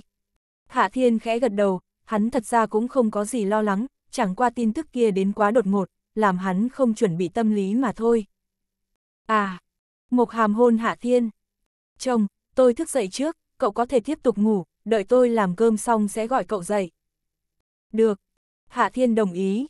Mộc hàm nhanh chóng mặc quần áo rời khỏi giường, mà Hạ Thiên nằm trên giường một lát, hắn phát hiện mình khó thể ngủ tiếp, vì vậy cũng mặc quần áo rời khỏi giường. Nhưng hắn cũng không đi ra ngoài mà lấy điện thoại gọi cho y tiểu âm. Chuyện gì? Y tiểu âm nhanh chóng tiếp nhận điện thoại, có lẽ vì nàng biết rõ, nếu nàng không tiếp điện thoại, nhất định Hạ Thiên sẽ liên tục gọi đến. Vợ y y, sao chị lại chạy đến Cảng Thành rồi? Hạ Thiên mở miệng hỏi. Tôi có việc cần làm. Y tiểu âm bình tĩnh trả lời, nàng hình như cũng không bực bội. Vợ y y, chỉ có chuyện gì? Hạ Thiên có chút mất vui. Sao không nói với tôi một tiếng? Nói hay không có khác gì nhau sao? Y tiểu âm thản nhiên nói. Cậu cuối cùng cũng sẽ biết. Điều này cũng đúng, chị là vợ tôi, dù chị ở đâu, cuối cùng tôi cũng sẽ tìm được chị. Hạ Thiên lười biếng nói, hắn lập tức tiếp tục. Vợ y y, chị còn chưa nói cho tôi biết, chị đến Cảng Thành làm gì. Bên phía bệnh viện có chút chuyện, không phải chuyện gì lớn. Y tiểu âm thầm nghĩ muốn tắt điện thoại của Hạ Thiên, vì thế nhanh chóng trả lời. Vợ y y, lần sau những chuyện nhỏ nhặt nên cho người khác đi làm, chị không cần tự mình đi. Hạ Thiên nói, được rồi, tôi có khách đang đợi, tôi cúp máy đây. Y tiểu âm nói qua loa một câu rồi nhanh chóng cúp điện thoại. Hạ Thiên cũng không tiếp tục điện thoại đến, hắn thu hồi điện thoại rồi ra khỏi phòng ngủ. Mộc Hàm vẫn nấu ăn rất ngon, là một nữ đầu bếp quyến rũ gợi cảm, tất nhiên điều này làm cho Hạ Thiên cảm thấy rất vui. Chiều hôm nay Hạ Thiên cùng ở chung với Mộc Hàm, cơm nước xong thì bọn họ cùng xem TV, sau đó lên mạng chơi vài trò giải trí. Rõ ràng ở phương diện này Mộc Hàm tuyệt đối là thầy của Hạ Thiên, nhưng Hạ Thiên cũng không có hứng thú quá lớn. Tất nhiên dựa theo lời nói của Hạ Thiên, hắn không có hứng thú với những trò chơi kia, nhưng hắn lại tình nguyện ôm Mộc Hàm đặt lên đùi chơi trò cưỡi ngựa. Cuối cùng Mộc Hàm phát hiện, hắn thích chơi với mình, mà mình lại chơi với máy tính, cuối cùng nàng cũng không thể không buông máy tính. Thời gian qua nhanh, không bao lâu sau đã đến tối, Mộc Hàm cũng không tiếp tục ở trong nhà, nàng đến ám tổ. Bây giờ nàng là tổ trưởng địa tổ, cũng không có nhiều nhiệm vụ để tự mình đi làm, nhưng có vài nhiệm vụ cần nàng chỉ huy, đêm nay nàng cần đích thân chỉ huy một nhiệm vụ như vậy. Chồng, nếu không cậu cứ ở đây chờ, tối tôi sẽ quay lại. Mộc Hàm thấy Hạ Thiên có chút không muốn, vì vậy nói. Được rồi. Hạ Thiên suy nghĩ rồi đồng ý. Mộc Hàm nhanh chóng bỏ đi, Hạ Thiên nhìn máy tính, hắn đăng nhập QQ, đã lâu rồi hắn chưa lên QQ. Chồng chồng, anh đang ở cùng với chị Hàm sao? Đúng là kỳ quái, anh không leo lên người chị Hàm mà lên mạng làm gì. Tiểu yêu tinh gửi đến một tin tức. Hạ Thiên không quan tâm đến tiểu yêu tinh, vì lúc này Hinh Hinh công chúa chợt gửi tin đến. Hạ Thiên, cậu còn ở thủ đô sao? Đúng vậy, chị Hinh, tôi còn ở thủ đô. Hạ Thiên gửi tin về. Sự việc ở thủ đô còn chưa xong sao? Khi nào cậu về, tôi rất nhớ cậu. Tôn Hinh Hinh tiếp tục gửi đến vài bản tin. Tôi cố gắng làm cho xong, sẽ nhanh chóng quay về. Hạ Thiên nhanh chóng gửi tin, tuy chuyện ở thủ đô còn chưa chính thức xử lý xong, nhưng nếu về Giang Hải cũng không có vấn đề. Hạ Thiên quay đầu nhìn cố hàm xương cách đó không xa, thủ đô còn có một điều hắn bận tâm, đó là người tu tiên, hình như thứ này phải hỏi cố hàm xương. Chị Hinh, tôi có chút việc, lần sau sẽ trò chuyện với chị, vài ngày nữa tôi sẽ về.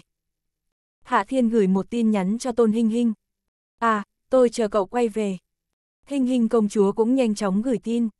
Sau đó Hạ Thiên tắt QQ, hắn đi ra phòng khách, hắn quyết định hỏi cố hàm xương về vấn đề người tu tiên, nhưng hắn chưa kịp mở miệng thì điện thoại đã vang lên. chương 1213, nghĩ đến chị ấy còn không bằng nghĩ đến tôi. Vợ mị mị, chị có nhớ đến tôi không? Hạ Thiên lập tức nhận điện thoại. Người điện thoại đến là Tống Ngọc Mị, giọng điệu của nàng có chút dịu dàng, còn mang theo vài phần hờn dỗi. Tôi cũng không nhớ đến cậu. Vợ mị mị, gạt người cũng không tốt, tôi biết rõ chị nghĩ đến tôi, thật ra nghĩ đến chồng cũng không phải là gì xấu hổ, ví dụ như nhớ vợ cũng không phải chuyện gì xấu hổ, tôi cũng rất nhớ chị. Hạ Thiên cười hì hì nói. Tống Ngọc Mị ở đầu dây bên kia trầm mặc vài giây, sau đó nàng khẽ nói. Thật ra tôi rất nhớ Mị Di. Hạ Thiên chợt có chút buồn bực. Vợ Mị Mị, chị nhớ chị ta làm gì? Chị nghĩ đến chị ta thì chẳng bằng nghĩ về tôi. Tôi biết cậu không thích Mị Di, tôi cũng biết cậu có rất nhiều thù hận, nhưng tôi thật sự không muốn gạt cậu, tôi thật sự rất nhớ Mị Di, tôi muốn được gặp chị ấy, cậu có thể đưa chị ấy ra được không? Giọng điệu của Tống Ngọc Mị có chút dịu dàng, cũng có nhiều hơn chút cầu xin. Vợ Mị Mị, chị muốn thật sự đi gặp thì tôi sẽ đưa đi, ai bảo chị là vợ tôi. Hạ Thiên có chút vô tình. Nhưng vợ Mị Mị, chị có thể nói cho tôi biết, vì sao chỉ thích người phụ nữ chết tiệt kia. Tôi cảm thấy chị ta ngoài bộ dạng xinh đẹp, cũng không có gì tốt, đàn ông nghĩ đến chị ta còn có thể hiểu được, dù sao chị cũng xinh đẹp, nhưng chị không phải là đàn ông, chị nghĩ đến chị ta làm gì. Hạ Thiên, cậu không rõ đấy thôi, Mị Di đối với Tống gia chúng tôi là thật sự quan trọng, đối với tôi thì càng quan trọng hơn. Từ nhỏ đến lớn nguyện vọng lớn nhất của tôi là tìm được sự tán thành của chị ta, khí chất đặc biệt của chị ấy, vẻ đẹp của chị ấy, vẻ lạnh lùng xinh đẹp cũng đều làm tôi rất sùng bái. Tôi cũng không biết giải thích với cậu thế nào, nhưng chị ấy thật sự rất quan trọng với tôi. Tống Ngọc Mị nói bằng lời tràn đầy tình cảm nói không nên lời. Cô ấy giống như mẹ của tôi, hoặc cũng có thể nói là giống như chị của tôi, càng giống như là mục tiêu vĩnh viễn tôi không bao giờ với tới được. Thật ra có chuyện tôi vẫn muốn nói với cậu, nhưng tôi cảm thấy như vậy là rất ích kỷ, vì vậy đều không nói ra. Hạ Thiên dùng giọng mất hết sức lực nói. Vợ mị mị, tôi là chồng chị, chị muốn nói gì cũng có thể nói ra. Những ngày qua tôi đều luôn lo lắng một sự kiện, tôi cuối cùng chỉ lo lắng cậu và Mị Di liều mạng ngươi chết ta sống. Tất nhiên tôi cũng biết rõ bây giờ Mị Di không còn là đối thủ của cậu, nếu cậu muốn giết chị ta, thật sự sẽ thành công. Nhưng tôi vẫn luôn muốn nói cho cậu biết, tôi thật sự không hy vọng hai người tiếp tục là kẻ địch, dù là ai trong số hai người gặp chuyện không may, tôi đều cảm thấy rất đau đớn. Tôi cũng muốn cầu mong cậu đừng làm tổn thương Mị Di, như vậy lại không công bằng với cậu, vì tôi không thể đảm bảo Mị Di có thể không gây tổn thương cho cậu, vì thế tôi mãi không dám nói những lời này với cậu. Tống Ngọc Mị khẽ nói. Nhưng bây giờ tôi chợt nghĩ đến một khả năng, có lẽ tôi có thể làm cho Mị Di không còn hận cậu, vì chị ấy rất quan tâm đến tôi. Tinh thần của Hạ Thiên có khá hơn một chút nhưng giọng điệu vẫn rất lười biếng. Vợ Mị Mị, chị muốn gặp dạ Ngọc Mị vì không muốn chị ta hận tôi. Thật ra cũng không phải là như vậy. Tống Ngọc Mị có chút trầm mặc. Tôi cũng không muốn tiếp tục lừa cậu, thật ra tôi cũng không muốn tìm Mị Di nhanh như vậy, vì tôi biết rõ sau này ở cùng cậu, nhất định sẽ được gặp Mị Di, vì thế cũng không cần vội. Nhưng bây giờ gia tộc có vài người hoài nghi Mị Di có còn sống hay không, bọn họ bắt đầu nghi ngờ tôi bị những lời ngon mật ngọt của cậu làm cho váng đầu. Vì thế tôi muốn đến gặp Mị Di, nếu Mị Di không thể rời khỏi Thanh Phong Sơn, tôi có thể ghi lại một đoạn video, ít nhất cũng có thể chứng minh chị ấy còn sống, như thế đám gia tộc cũng không còn gì để nói. Hạ Thiên chợt mất hứng. Vợ mị mị, tên ngốc nào không tin chị, tôi đi đánh bọn họ. Cậu đừng mắng bọn họ ngu ngốc, cũng đừng muốn đánh bọn họ, dù sao bọn họ cũng đều là người nhà của tôi, bọn họ cũng không phải không tin tôi, chủ yếu là bọn họ đều quá quan tâm đến Mị Di mà thôi, bây giờ Mị Di cứ mất tích như vậy, bọn họ chắc chắn rất lo lắng. Tống Ngọc Mị dùng giọng dịu dàng khuyên Hạ Thiên. Nếu bây giờ cậu không rảnh cũng không sao, nhưng nếu cậu định về Thanh Phong Sơn thì mang tôi đi một chuyến, được không? Được rồi. Hạ Thiên dù không phải rất thích nhưng vẫn đồng ý. Vợ mị mị, tôi định vài ngày nữa sẽ về Giang Hải, đến lúc đó tôi sẽ đưa chị đi, sau đó thuận tiện đến Thanh Phong Sơn, tôi cũng muốn được gặp thần tiên tỷ tỷ. Hạ Thiên dừng lại rồi bổ sung thêm. Thật ra vợ mị mị cứ an tâm, chỉ cần dạ ngọc mị không làm loạn, tôi cũng không giết chị ta. Tuy tôi rất muốn đánh chị ta, cũng muốn trừng phạt, nhưng đáng tiếc là thần tiên tỷ tỷ không cho tôi làm như vậy, thần tiên tỷ tỷ là chị em tốt của chị ta. Hạ Thiên dù không thích Tống Ngọc Mị nhưng hắn cũng không muốn làm cho thần tiên tỷ tỷ mất vui, vì vậy trừ khi dạ Ngọc Mị làm ra chuyện gì đó gây bất lợi hoặc muốn giết một bà vợ nào của hắn, khi đó hắn mới có thể ra tay với đối phương. Tất nhiên hắn thật sự cũng cần có kế hoạch, muốn thừa dịp thần tiên tỷ tỷ không biết để vụng trộm đi đánh mông dạ Ngọc Mị, nếu không làm cho mông nàng nở hoa, hắn thật sự rất khó phát giận. Thật ra nếu cậu ở chung với Mị Di một thời gian dài, cậu sẽ thích chị ấy. Tống Ngọc Mị khẽ nói. Trên người Mị Di có một sức quyến rũ đặc thù, dù là người nào, chỉ cần ở lâu bên cạnh chị ấy cũng sẽ bị chinh phục, sẽ cam tâm tình nguyện vì chị ấy mà làm tất cả. Phải không? Hạ Thiên chợt có chút ngạc nhiên.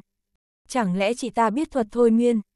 Không phải, có một vài người có sức quyến rũ trời sinh mà thôi, Mị Di là người như vậy, nếu cậu không tin thì sau này có thể ở bên chị ấy một khoảng thời gian xem.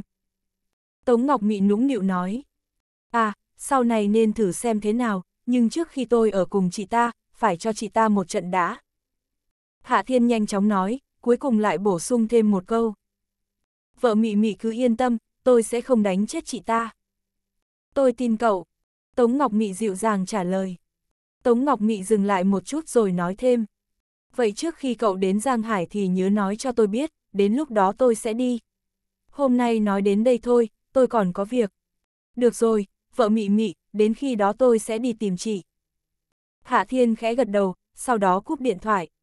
Xem ra vài ngày nữa Hạ Thiên cần phải về thành phố Giang Hải một chuyến, trước khi đi hắn cảm thấy nên giải quyết tốt vấn đề của cố hàm xương, nếu không hắn sẽ chẳng an lòng. Hạ Thiên quay đầu nhìn cố hàm xương đang ngồi trên ghế sa lông rồi tùy ý hỏi. Sương nha đầu, viên thiên chính đang ở đâu? Thiếu gia, hắn đang ở nhà tôi, cũng là cố gia, nhưng tình hình vết thương của hắn rất nặng, công lực hoàn toàn biến mất, chỉ cần một tháng sau sẽ chết mất. Cố hàm xương trả lời, lúc này nàng thật sự nói khá nhiều. Vậy à? Hạ thiên lầm bầm, trong lòng có chút bực bội, vì hắn thật sự khó xác định cố hàm xương có nói dối hay không. Thiếu ra, nếu cậu cần xử lý viên thiên chính, tôi sẽ ra tay giúp đỡ. Cố hàm xương chủ động mở miệng nói, ban đầu ở trên trường thành khi đàm luận về điều kiện thì nàng đã biết Hạ Thiên chủ yếu đến tìm viên thiên chính và những người tu tiên khác, nàng chẳng qua không phải là mục tiêu của hắn, chỉ là một tặng phẩm mà thôi. Xử lý viên thiên chính. Trong đầu Hạ Thiên chợt lóe lên suy nghĩ, đúng vậy, hắn sao lại quên chuyện này. Sự việc đơn giản mà hắn tự làm cho phức tạp, đúng là thất sách. Sương nha đầu, chị đi tìm viên thiên chính về đây, tôi muốn đích thân xử lý hắn. Hạ Thiên nhanh chóng đưa ra quyết định, trước kia hắn cảm thấy khó phán đoán lời nói của cố hàm Sương là thật hay giả, vì vậy luôn rất bực bội. Mà hắn cũng không dám thôi miên một người đẹp như nàng, nguyên nhân cũng giống như những gì trước đó hắn nói với Triệu Vũ Cơ, loại người như cố hàm Sương thật sự không dễ thôi miên, vì vậy hắn muốn dùng biện pháp khác, chậm rãi làm cho cố hàm xương nghe lời mình. Nhưng vài ngày nữa hắn sẽ về Giang Hải, mà vài ngày không đủ để cho cố hàm xương luôn ngoan ngoãn nghe lời, vì thế hắn cũng không có biện pháp nào khác. Nhưng vừa nhắc đến viên thiên chính thì hắn chợt nghĩ đến vấn đề thôi miên cố hàm xương là rất khó, hắn không làm được, nhưng thôi miên viên thiên chính lại rất dễ, hắn cũng không ngại làm. Cố hàm xương biết chuyện gì thì viên thiên chính cũng biết, vì vậy có thể thấy hạ thiên chỉ cần thôi miên viên thiên chính, sau đó sẽ biết được đám người tu tiên còn những ai, cũng có thể so sánh với cố hàm xương xem nàng có nói dối hay không. Vâng, thiếu gia, tôi sẽ đưa người đến. Cố Hàm xương lập tức đồng ý, Hạ Thiên cảm thấy vài ngày qua Cố Hàm xương luôn nghe lời, hơn nữa cũng không lừa hắn, chẳng qua hắn không biết mà thôi. Cố gia ở thủ đô cũng không phải đại gia tộc, chỗ ở chỉ là một tứ hợp viện bình thường, cũng rất cũ, nhưng diện tích lại rất lớn, bên trong đầy nhà. Cố Hàm xương đưa Hạ Thiên vào cố ra cũng không ai chú ý, với công lực của hai người thì ra vào rất bình thường. Cố Hàm xương nhanh chóng đi đến một gian phòng, trong giường là một người đàn ông vẻ mặt xám trắng đang mê ngủ, đó là viên thiên chính. Bây giờ viên thiên chính đã lộ rõ vẻ già nua, trên mặt có nếp nhăn, tóc cũng trắng bệch, rõ ràng sau khi bị thương thì suy yếu quá nhanh, chỉ vài ngày đã giống như già đi vài chục tuổi. Trước đó hắn có bộ dạng 3-40, bây giờ thật sự không khác ông lão hơn 60. Sương nha đầu, chị ra ngoài chờ. Hạ Thiên lấy ngân châm ra nói với với cố hàm Sương chương 1214, không phải nói không đóng cửa sao. Vâng, thiếu gia. Cố Hàm Sương nghe lời ra ngoài đứng lẳng lặng chờ ngoài cửa.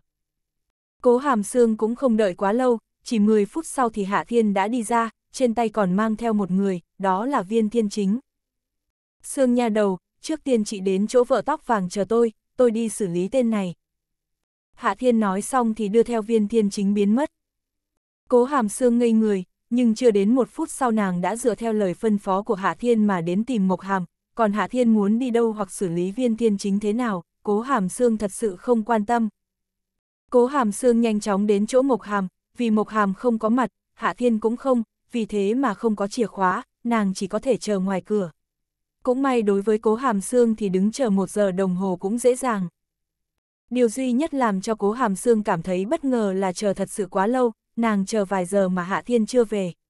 Sau đó nàng phát hiện Hạ Thiên không về nhưng chủ nhân Mộc Hàm đã trở lại. Cố tiểu thư, sao lại đứng ở chỗ này? Chồng không ở bên trong sao? Khi thấy cố hàm xương đứng ngoài cửa thì Mộc Hàm cũng bất ngờ, nàng mở miệng hỏi. Dù cố hàm xương là nha hoàn của Hạ Thiên, nhưng Mộc Hàm thật sự xương hô rất khách khí với đối phương, vì nàng biết người này không phải kẻ tầm thường, nàng thấy nên tôn trọng vẫn hơn. Thiếu gia có việc cần làm, nói tôi quay về chỗ này, nhưng không biết vì sao đã vài giờ mà còn chưa về. Cố Hàm Sương trả lời. Cậu ấy ra ngoài từ khi nào? Mộc Hàm không khỏi hỏi. Đại khái là khoảng 7 giờ. Cố Hàm Sương suy nghĩ rồi nói. 7 giờ. Mộc Hàm nhìn đồng hồ rồi nhíu mày. Bây giờ cũng hơn 10 giờ, sao chồng còn chưa quay lại? Phu nhân, có cần tôi đi tìm thiếu gia không? Cố Hàm xương trần trừ rồi hỏi. Vào nhà trước đã. Mộc Hàm mở cửa đi vào phòng, sau đó nàng lấy điện thoại ra gọi cho Hạ Thiên. Tôi điện thoại hỏi xem rốt cuộc cậu ấy đang ở đâu. Điện thoại chuyển rất nhanh, Mộc Hàm nũng nịu hỏi. Chồng, tôi đã về nhà, cậu đang ở đâu vậy? À, tôi đang ở bên ngoài, nhiều nhất là nửa giờ nữa sẽ quay lại. Hạ Thiên trả lời. À, tôi đi tắm trước, cậu nhanh quay về. Mộc Hàm cũng yên lòng, nàng nhìn cố hàm xương cách đó không xa, nàng hạ thấp giọng rồi khẽ nói rất hấp dẫn. Chồng, tôi không khóa cửa nhà tắm đâu nhé. Mộc Hàm nói xong thì cười quyến rũ, sau đó cúp điện thoại đi về phía phòng tắm. Một phút sau, Mộc Hàm đang tắm thì nghe thấy có người gõ cửa phòng, đồng thời còn nghe được âm thanh của Hạ Thiên từ bên ngoài. Vợ, không phải chị đã nói sẽ chẳng đóng cửa sao? Mộc Hàm không khỏi khẽ cười, chồng quả nhiên bị nàng lừa quay về, nàng không trả lời mà chỉ mở cửa phòng tắm, duỗi bàn tay trắng nõn ra, kéo hắn vào trong, sau đó mới đóng cửa lại. Chồng, tôi giúp cậu cởi quần áo. Mộc Hàm khẽ nói. Vợ, chị cũng bắt đầu trở nên không ngoan, dám gạt tôi là mở cửa phòng tắm. Hạ Thiên ôm Mộc Hàm, vẫn có vẻ không vui. Chồng, nếu người khác tiến vào thì sao bây giờ? Mộc Hàm dùng bàn tay mềm mại lục lọi trên người Hạ Thiên, ngay sau đó nàng đã cởi từng phần quần áo trên người hắn xuống, sau đó hai người đều đã trần như nhộng. Tóm lại lừa chồng là không tốt, tuy tôi rất thích chị, nhưng tôi phải trừng phạt chị. Hạ Thiên nói rất khẽ. Cậu muốn trừng phạt tôi thế nào cũng được, ư. Mộc Hàm còn chưa dứt lời thì đã bị Hạ Thiên ép lên tường. Sáng hôm sau, 10 giờ sáng, Mộc Hàm thức dậy. Chồng, tôi phải đến ám tổ. Mộc Hàm vừa mặc quần áo vừa nói với Hạ Thiên. Vợ, tôi cảm thấy chị không cần phải đến ám tổ, mỗi ngày sao lại sinh ra nhiều chuyện như vậy. Hạ Thiên có chút mất hứng. Vài ngày nữa tôi sẽ về Giang Hải một chuyến, không bằng chị và Mỹ Nhi theo tôi về Giang Hải luôn. Chồng, tạm thời là không được, sau này hãy nói. Mộc Hàm nhanh chóng mặc quần áo, sau đó cúi người hôn Hạ Thiên. Tôi đi trước, chồng có thể tiếp tục ngủ. Thấy Mộc Hàm bỏ đi thì Hạ Thiên có chút buồn bực, hắn cảm thấy cả ngày chạy qua chạy lại từ thủ đô đến Giang Hải là không tốt, sau này hắn sẽ ở tại thành phố Giang Hải, vì vậy vợ của hắn phải tập trung tất cả ở Giang Hải mới đúng. Nếu Mộc Hàm và Mỹ Nhi không chịu rời khỏi ám tổ, như vậy ít nhất cũng rời căn cứ của ám tổ đến Giang Hải. À, vậy thì rời ám tổ đến Giang Hải. Hạ Thiên phát hiện ý nghĩ này của mình là rất hay, sau đó hắn nhảy dựng lên, mặc quần áo tử tế, định đến ám tổ một chuyến để thương lượng với hai bà vợ về vấn đề di rời ám tổ đến Giang Hải. Nhưng Hạ Thiên còn chưa kịp ra khỏi cửa thì điện thoại vang lên. Lại ai vậy? Hạ Thiên có chút bất mãn, hắn lấy điện thoại ra rồi chợt buồn bực, điện thoại này hắn không muốn nhận, vì người gọi đến là Trương Minh Đà. Một lúc sau Hạ Thiên mới dùng giọng mất hết sức lực hỏi. Đại sư phụ, có chuyện gì sao? Tiểu tử, đến giúp ta một chuyện. Giọng điệu của Trương Minh Đà cũng không kém phần mệt mỏi. Hạ Thiên chợt buồn bực, hắn biết vị đại sư phụ này nhất định tìm mình nhờ việc, vì vậy hắn vô tình hỏi.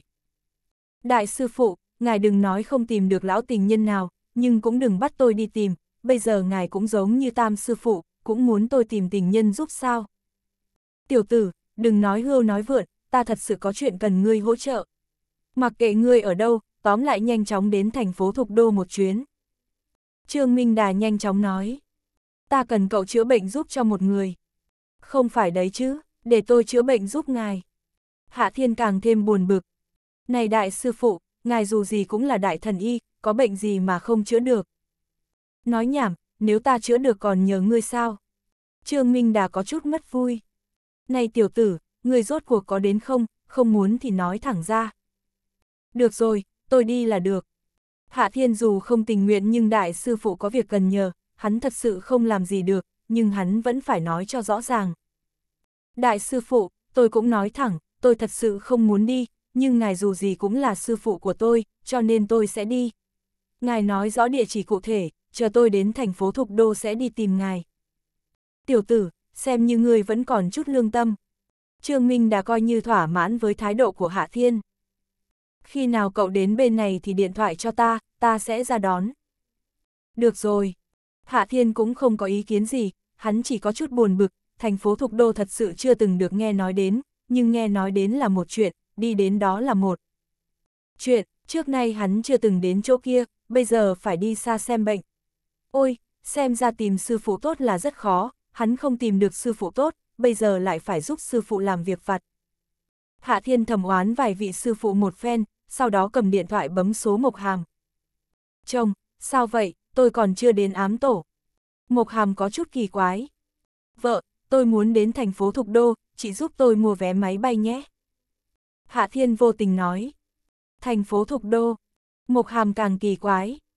Chồng, sao cậu lại đột nhiên muốn đến đó? Không phải là đột nhiên, đại sư phụ đột nhiên điện thoại đến, đúng là không có biện pháp, tôi phải đi sớm còn về sớm. Hạ Thiên dùng giọng bất đắc dĩ nói. Hạ Thiên dừng lại một chút rồi bổ sung thêm một câu. Đúng rồi, vợ, chị đặt hai vé, tôi và Sương nhà đầu cùng đi.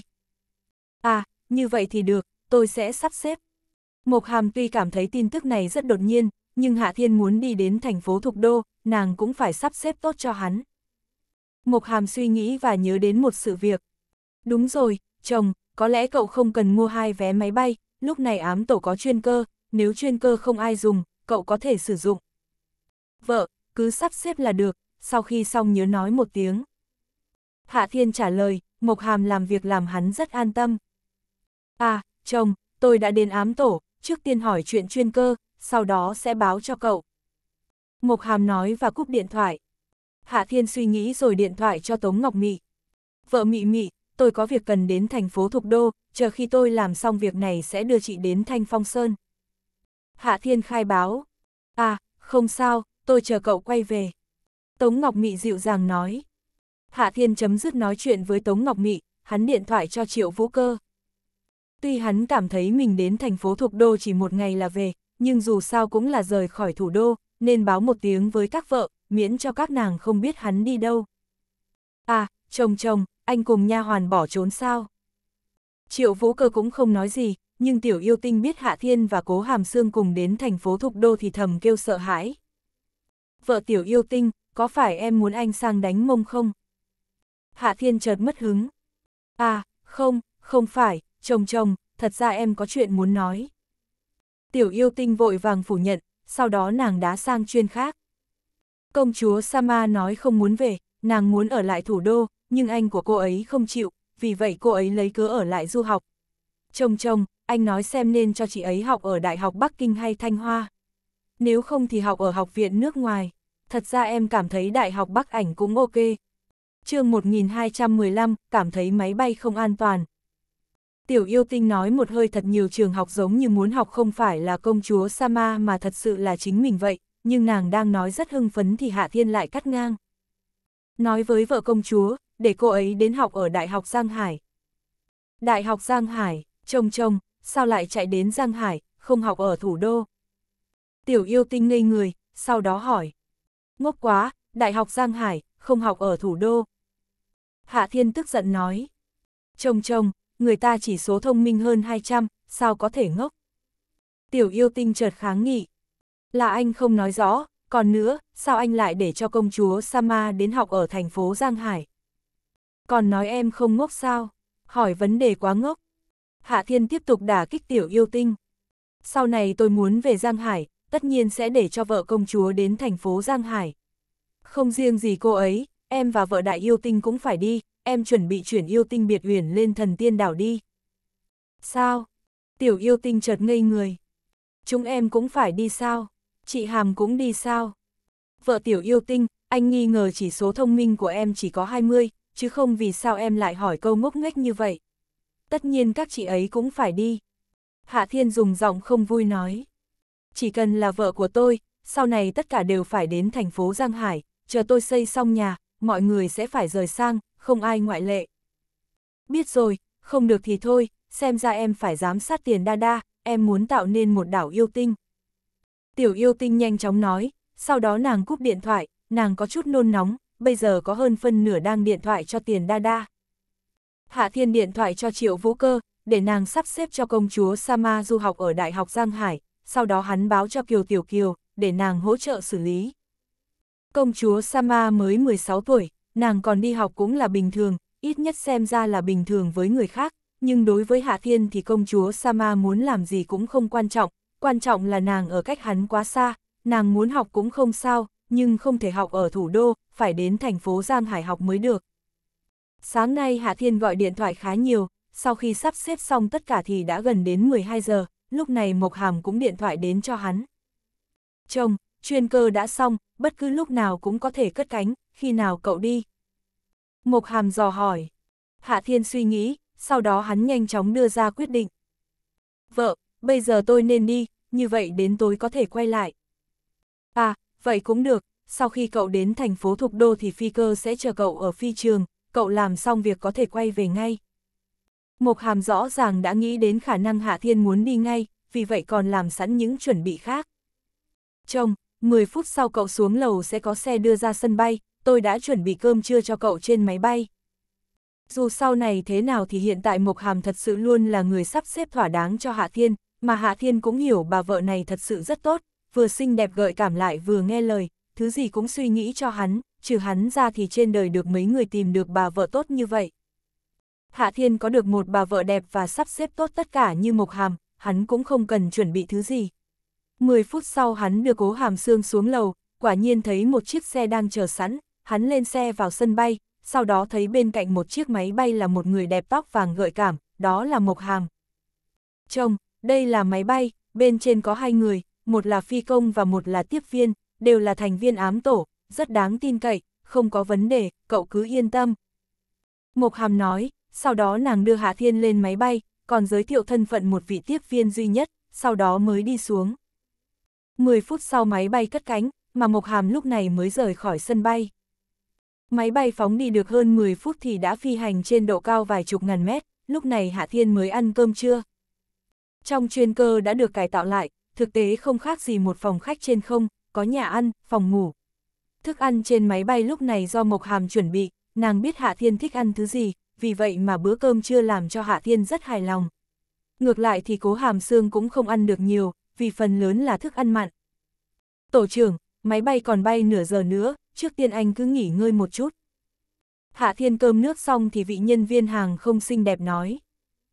Vị tiếp viên hàng không này thật sự có chút duyên phận với Mộc Hàm, vì khi Mộc Hàm giả làm tiếp viên hàng không thì dùng tên giả là Hàn Mộc, mà bây giờ vị tiếp viên hàng không này cũng họ Hàn, tất nhiên nàng không phải là Hàn Mộc, gọi là Hàn Lan Lan. À, tôi không cần nghỉ ngơi, cô cũng không cần quan tâm đến tôi, cô đến phía trước chờ đi. Hạ Thiên cũng không có hứng thú với Hàn Lan Lan, cô tiếp viên hàng không này tuy có chút xinh đẹp nhưng nếu so với Mộc Hàm thì kém quá xa. Vâng, tổ trưởng. Hàn Lan Lan cũng không nói nhiều mà thức thời bỏ đi, nhưng trước khi đi nàng cũng không quên nhìn sang cố hàm xương, trong lòng thầm nghĩ, vị tổ trưởng có vẻ háo sắc này chẳng lẽ muốn cùng người phụ nữ xinh đẹp mặt đồ đạo cô này, vụng trộm, trên đây. Hàn Lan Lan ngược lại có chút phán đoán đúng, Hạ Thiên thật sự có chuyện cần nói với cố hàm xương, nhưng không phải là vụng trộm. Sương nha đầu, trước nay chị đã đi máy bay chưa? Sau khi Hàn Lan Lan đi ra khỏi phòng, Hạ Thiên thuận miệng hỏi một câu. Không, cố hàm Sương lắc đầu. Sương nha đầu, sao nhìn chị có vẻ căng thẳng như vậy? Chị sợ máy bay sao? Hạ Thiên nhìn chằm chằm vào cố hàm Sương, hắn kinh ngạc hỏi. Hắn ở cùng nàng vài ngày, đây là lần đầu tiên hắn thấy nàng có chút căng thẳng. Phải biết rằng trước đó nàng luôn cực kỳ bình tĩnh, tâm tình không bao giờ biến đổi, thật sự quá khác thường. Thiếu ra, tôi cảm thấy máy bay không an toàn. Cố hàm Sương có chút chần chừ, sau đó nàng mở miệng. Sương nha đầu, chị yên tâm, cũng chẳng thứ gì làm khó được thiếu ra, dù máy bay nổ tung thì chúng ta cũng không có chuyện gì. Hạ Thiên Thuận miệng an ủi cố hàm xương một câu, hắn thật sự không khoác lác, trước kia nếu máy bay gặp chuyện không may thì hắn thật sự khó thể nào chứng minh mình không có vấn đề, nhưng bây giờ hắn đã có thể ngự khí phi hành, dù máy bay có nổ thì hắn vẫn có thể ngự khí phi hành xuống mặt đất trước khi nổ, đảm bảo lông tóc không có vấn đề. Biết rồi, thiếu ra. Cố hàm xương khẽ gật đầu, sau đó nàng giống như không hề căng thẳng, có lẽ nàng biết thực lực của Hạ Thiên, biết hắn có thể bay trên không như đi trên đất bằng. Đúng rồi, xương nhà đầu, tôi luôn quên hỏi chị về tình huống của người tu tiên, ngoài chị ra thì còn bao nhiêu người.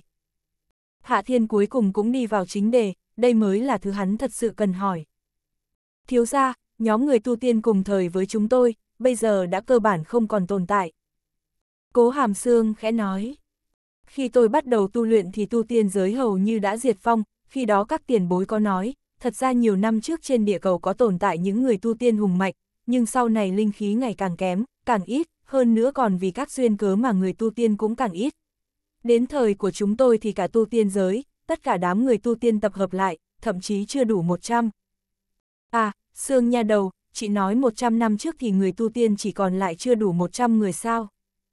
Hạ Thiên tùy ý hỏi. Đúng vậy, thiếu gia, thật ra tôi còn nhớ con số cụ thể, tổng cộng là 87 người, mà trong đó có hơn 50 người đã hơn 60, có chưa đủ 10 người 20 tuổi như tôi, độ tuổi 3-40 có khoảng 30 người. 87 người, ngoài chị, Viên Thiên Chính và Trang Vân Đông thì tất cả đều chết hết rồi sao? Hạ Thiên lại hỏi. Cố Hàm Sương lắc đầu nói. Thiếu ra, cũng không chết hết, thật ra bây giờ còn nhiều người sống, nhưng bọn họ chết cũng không phải thời gian trăm năm này, bọn họ có một nửa bị chết trong cơn ác mộng của tu tiên giới trăm năm trước. Khi đó có gì xảy ra sao? Hạ Thiên tỏ ra hiếu kỳ. Trăm năm trước quốc gia dung chuyển, một vị tiền bối đức cao vọng trọng tập hợp tất cả mọi người tu tiên, để chúng tôi vào động phủ của ông ấy cùng bàn kế hoạch cứu quốc. Lúc đó ông ấy nói cho chúng tôi biết, địa cầu đã không còn thích hợp với sự sinh tồn của người tu tiên, chúng tôi cũng không còn cách nào tu thành kim đan. Vì vậy mọi người nếu cứ tiếp tục mù quáng tu luyện, không bằng cùng nhau liên hợp cống hiến cho dân tộc. Cố Hàm Sương dùng giọng búp bê nói ra sự kiện trước kia. Chúng tôi đều hưởng ứng lời kêu gọi của vị tiền bối kia, rời khỏi chỗ tu luyện của mình, mang theo đan dược và vũ khí tốt nhất để đến chiến trường. Viên thiên chính khi đó cũng rời khỏi Thanh Phong Sơn, tôi và Trang Vân Đông cũng rời khỏi thủ đô. Cố Hàm Sương thoáng dừng lại, Cố Hàm Sương còn nói thêm. Lúc đó cũng không phải mọi người đều hưởng ứng lời kêu gọi của vị tiền bối kia, nhưng vì vị tiền bối kia có uy vọng cao nhất, công lực mạnh nhất, vì vậy ai cũng đi. Nhưng không ngờ chúng tôi vừa bước chân vào Trung Nam Sơn, vừa bước vào vị trí tu luyện của vị tiền bối kia, lại bước một chân vào bẫy dập. Bẫy dập? Hạ Thiên hỏi một câu. Vị tiền bối kia muốn giết các người sao? chương 1216, cực phẩm nha hoàn mỏ quả đen. Đúng vậy, thiếu gia, sau khi chúng tôi vào bẫy dập mới biết được, thật ra căn bản không phải để chúng tôi cống hiến chút lực lượng cho dân tộc, mà là cống hiến lực. Lượng cho hắn. Cố Hàm xương cũng không còn bình tĩnh, dù đã qua trăm năm nhưng mỗi lần nàng nói ra chuyện này đều cực kỳ xúc động và phẫn nộ. Khi đó lão là người gần với Kim Đan Kỳ nhất, nhưng tuổi của lão đã không còn nhỏ, vì vậy lão muốn lợi dụng tư nguyên của chúng tôi để cung cấp nuôi dưỡng mình, đặc biệt là các loại đan dược và bảo vật có tác dụng với người tu tiên. Lão cũng biết chúng tôi không thể nào mang ra cho, vì vậy muốn hốt một mẻ, sau đó tất cả tư nguyên của chúng tôi sẽ thành của lão. Vô tình cố hàm xương chợt lên giọng. Đáng hận nhất chính là, khi âm mưu của lão bị chúng tôi vạch trần, lão còn ra vẻ đạo mạo, nói làm như vậy vì quốc gia dân tộc. Lão nói một cao thủ kim đan kỳ thật sự hữu dụng hơn rất nhiều 100 tên mà mãi mãi không thể tu luyện thêm. Nhưng chúng tôi không tin tưởng lão, sau đó chúng tôi cùng nhau hợp lực giết chết lão, cũng vì chúng tôi bị hạ độc mà công lực yếu hơn hẳn, vì thế chúng tôi phải trả giá lớn, sau trận chiến, 86 người chỉ còn lại 46 người. Xem ra tôi không thích những ông lão cũng có lý, quá nhiều lão già không được tốt lắm, vị tiền bối kia của chị, đám sư phụ của tôi, không ai là người tốt. Hạ Thiên lười biếng nói. Nhưng nếu so sánh với vị tiền bối của chị, ba vị sư phụ của tôi vẫn là người tốt. Địa điểm mà vị tiền bối kia tu luyện chính là nơi linh khí nồng đậm nhất, khi đó 46 người chúng tôi đều bị thương, căn bản không thích hợp đi xa. Mọi người thương lượng và quyết định đồng tâm hiệp lực cùng nhau tu luyện, cứ như vậy mà sống qua 100 năm. Cố Hàm Sương tiếp tục nói, giọng điệu có thêm chút yêu thương. Nhưng trăm năm qua tôi đã thấy nhiều người chết đi trước mắt mình, vô tình cảm thấy chính mình như đã chết, tu tiên rõ ràng không phải là hướng đi đúng, chỉ là sự dày vò mà thôi. Có đôi khi tôi thật sự muốn chấm dứt những dày vò của mình. Khi thấy cố hàm xương thật sự có chút đau lòng, Hạ Thiên không nhịn được phải nói lời an ủi. Sương nha đầu, sau này chị không cần dày vò, đi theo tôi chỉ có thể không cần tu luyện mà vẫn thành kim đan kỳ, không còn gì dày vò. Hạ Thiên dừng lại một chút rồi lại hỏi.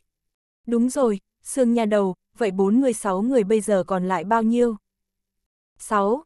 Cố hàm xương trầm mặc một chút rồi nói thật nhỏ.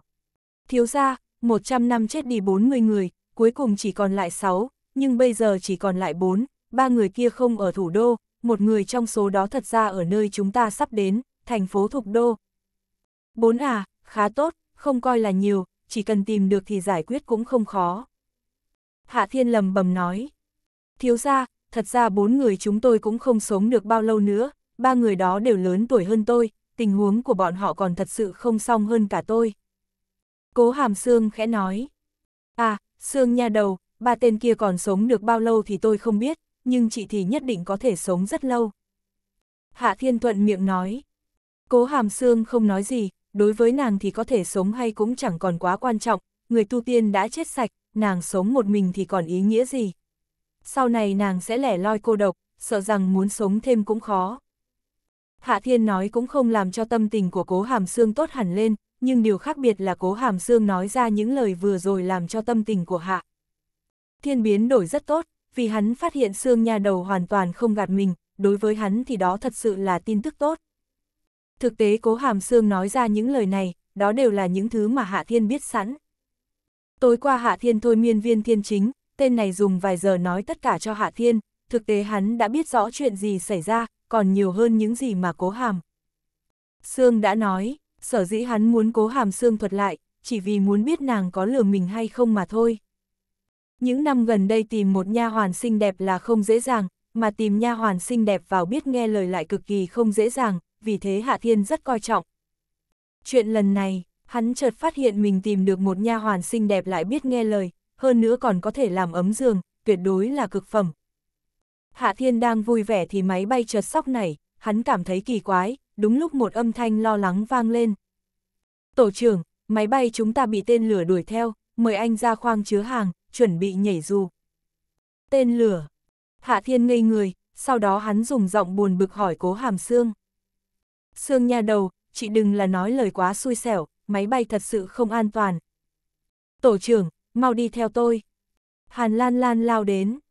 Mau đến khoang chứa hàng, trên máy bay dù có hệ thống bắn trả nhưng không chắc có thể thoát được, giống như một máy bay khác đang tiến hành công kích chúng ta. Tổ trưởng Mộc đã ra thông báo, nếu có tình huống xấu thì cho anh nhảy dù, chị ấy nói anh nhảy dù sẽ. Sống sót, tên lửa đang tiếp cận, 10 giây nữa sẽ đến. Âm thanh điều khiển vang lên. Hạ Thiên cũng không nói gì, hắn kéo tay cố hàm xương, cũng kéo cả Hàn Lan Lan chạy về phía khoang chứa hàng, đồng thời nói một câu với Hàn Lan Lan. Hai người lái máy bay có thể chạy trốn không? Tổ trưởng, những vị hành khách trên máy bay này đều là nhân vật quan trọng, dù có tình huống gì thì người điều khiển cũng không thể chạy trốn, vì thế căn bản không có hệ thống để cho bọn họ bỏ chạy. Hàn Lan Lan nhanh chóng nói. Vậy bọn họ chết chắc rồi sao? Hạ Thiên khẽ nhíu mày, hai tên kia dù sao cũng là thủ hạ của hắn, hắn không thể để bọn họ chết ngay được. Tổ trưởng, chỉ cần anh còn sống, chúng tôi chết cũng không sao. Hàn Lan Lan cầm lấy dù. Mau, tổ trưởng, anh mặc vào rồi nhảy xuống.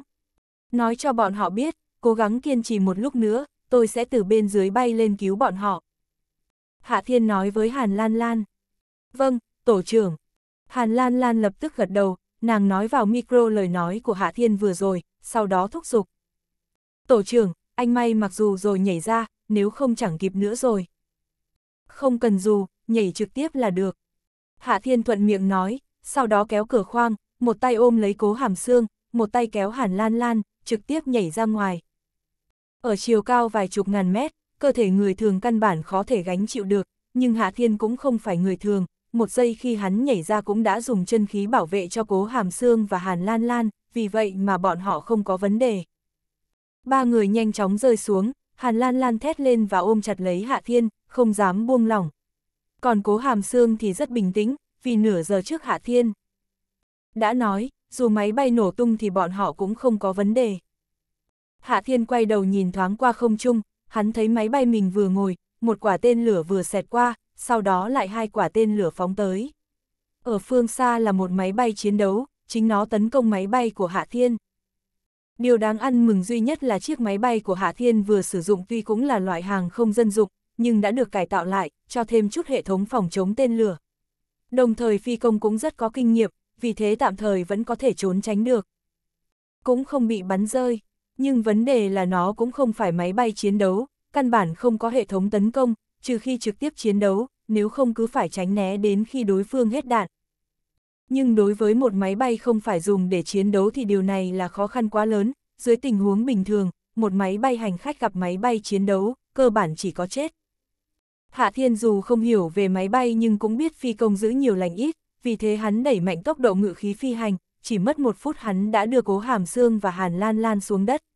Hắn thuận tay cầm kiếm của cố hàm xương, sau đó hắn lại phóng lên như một quả tên lửa, giống như sao băng phóng lên trời, mục tiêu của hắn không phải là chiếc máy bay vừa sử dụng, mà là chiếc máy bay chiến đấu. Chưa đến một phút sau Hạ Thiên đã tiếp cận máy bay chiến đấu, hắn chém trường kiếm, một luồng kiếm khí phóng về phía máy bay chiến đấu. Âm, um, không trung chợt phát ra tiếng nổ mạnh, nhưng không phải máy bay chiến đấu phát nổ, chẳng qua chỉ bị đánh trúng mà thôi, lại trúng cánh, không quá nguy hiểm. Âm âm âm Hạ Thiên liên tục chém ra 10 luồng kiếm khí, sau đó một tiếng nổ ầm ầm vang lên, máy bay chiến đấu nổ tung. Không ngờ Hạ Thiên chỉ dùng một thanh trường kiếm đã chém nổ một chiếc máy bay chiến đấu. Đừng tưởng lái máy bay thì ngon nhé. Hạ Thiên dùng giọng khinh thường nói, sau đó hắn quay người lại bay về phía máy bay của mình, lúc này máy bay đã sắp rơi, hắn tiến vào thẳng nơi khoang điều khiển. Hai người trong khoang điều khiển còn đang kinh ngạc vì máy bay chiến đấu nổ tung, lúc này chợt bị Hạ Thiên sách ra khỏi phòng điều khiển, rời khỏi máy bay với tốc độ nhanh nhất. Chiếc máy bay vừa được ám tổ sử dụng không lâu cũng hoàn thành sứ mạng và rơi xuống vỡ tan tành. chương 1217, thật sự lời lớn. Mọi người sống sót nhưng Hạ Thiên lại buồn bực, không phải hắn đau lòng vì máy bay, mà căn bản hắn phát hiện vị trí của mình là một vùng núi nào đó không biết tên, coi như hắn lạc đường. Lạc đường cũng không phải là vấn đề, điều quan trọng là Hạ Thiên lấy điện thoại ra, hắn phát hiện nơi này không có sóng điện thoại, cũng không biết ở góc nào. Hắn nhìn quanh và thấy khắp nơi là núi non, còn có nhiều cánh rừng rậm tít tắp, điều này thiếu chút nữa làm hắn nghi ngờ mình đi vào rừng rậm nguyên thủy. Tổ trưởng, chúng ta nên làm thế nào đây? Hàn Lan Lan vẫn còn kinh hồn, tuy nàng cũng được ám tổ huấn luyện nhưng chưa từng gặp chuyện này, tất nhiên dù là ai cũng kinh hoàng, vì lúc này hai vị phi công còn ngồi dưới đất, chưa hoàn toàn tỉnh táo lại. Hạ Thiên suy nghĩ, hắn chợt nhớ đến chiếc đồng hồ đeo ở cổ tay, vì vậy mà tâm tình tốt hẳn lên, hắn nhớ rõ thứ này có thể liên lạc với vợ ở bất kỳ nơi nào.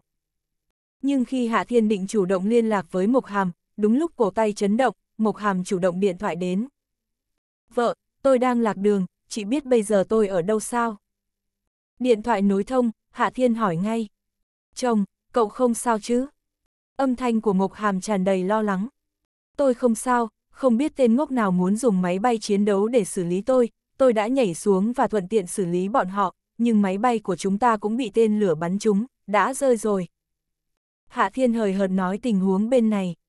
Tôi và Sương Nha đầu thì không có vấn đề, các nhân viên cũng không sao, nhưng bọn họ có lẽ hơi nhát gan, bị dọa cho hoảng sợ. Chồng, cậu không có việc gì là tốt rồi, bây giờ vị trí của cậu còn cách thục đô 100 km, tôi sẽ lập tức đến đón. Mộc hàm khẽ thở ra, chuyện này phát sinh quá đột ngột, không có dấu hiệu nào, cũng hoàn toàn nằm ngoài dự đoán của nàng.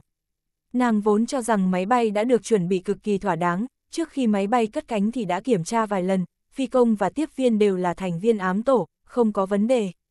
Nàng tưởng rằng mọi thứ đã rất cẩn thận, không ngờ lại có một chiếc máy bay chiến đấu xông lên tấn công. Mộc Hàm cảm thấy rất hoảng sợ, nếu không phải chồng nàng có năng lực mạnh mẽ, sợ rằng lúc này đã chạy trời không khỏi nắng. Mộc Hàm nghĩ vậy thì nói thêm, chồng cứ yên tâm, tôi sẽ kiểm tra được ai là người ở phía sau, bây giờ dù ai dở trò cũng không thể bỏ qua.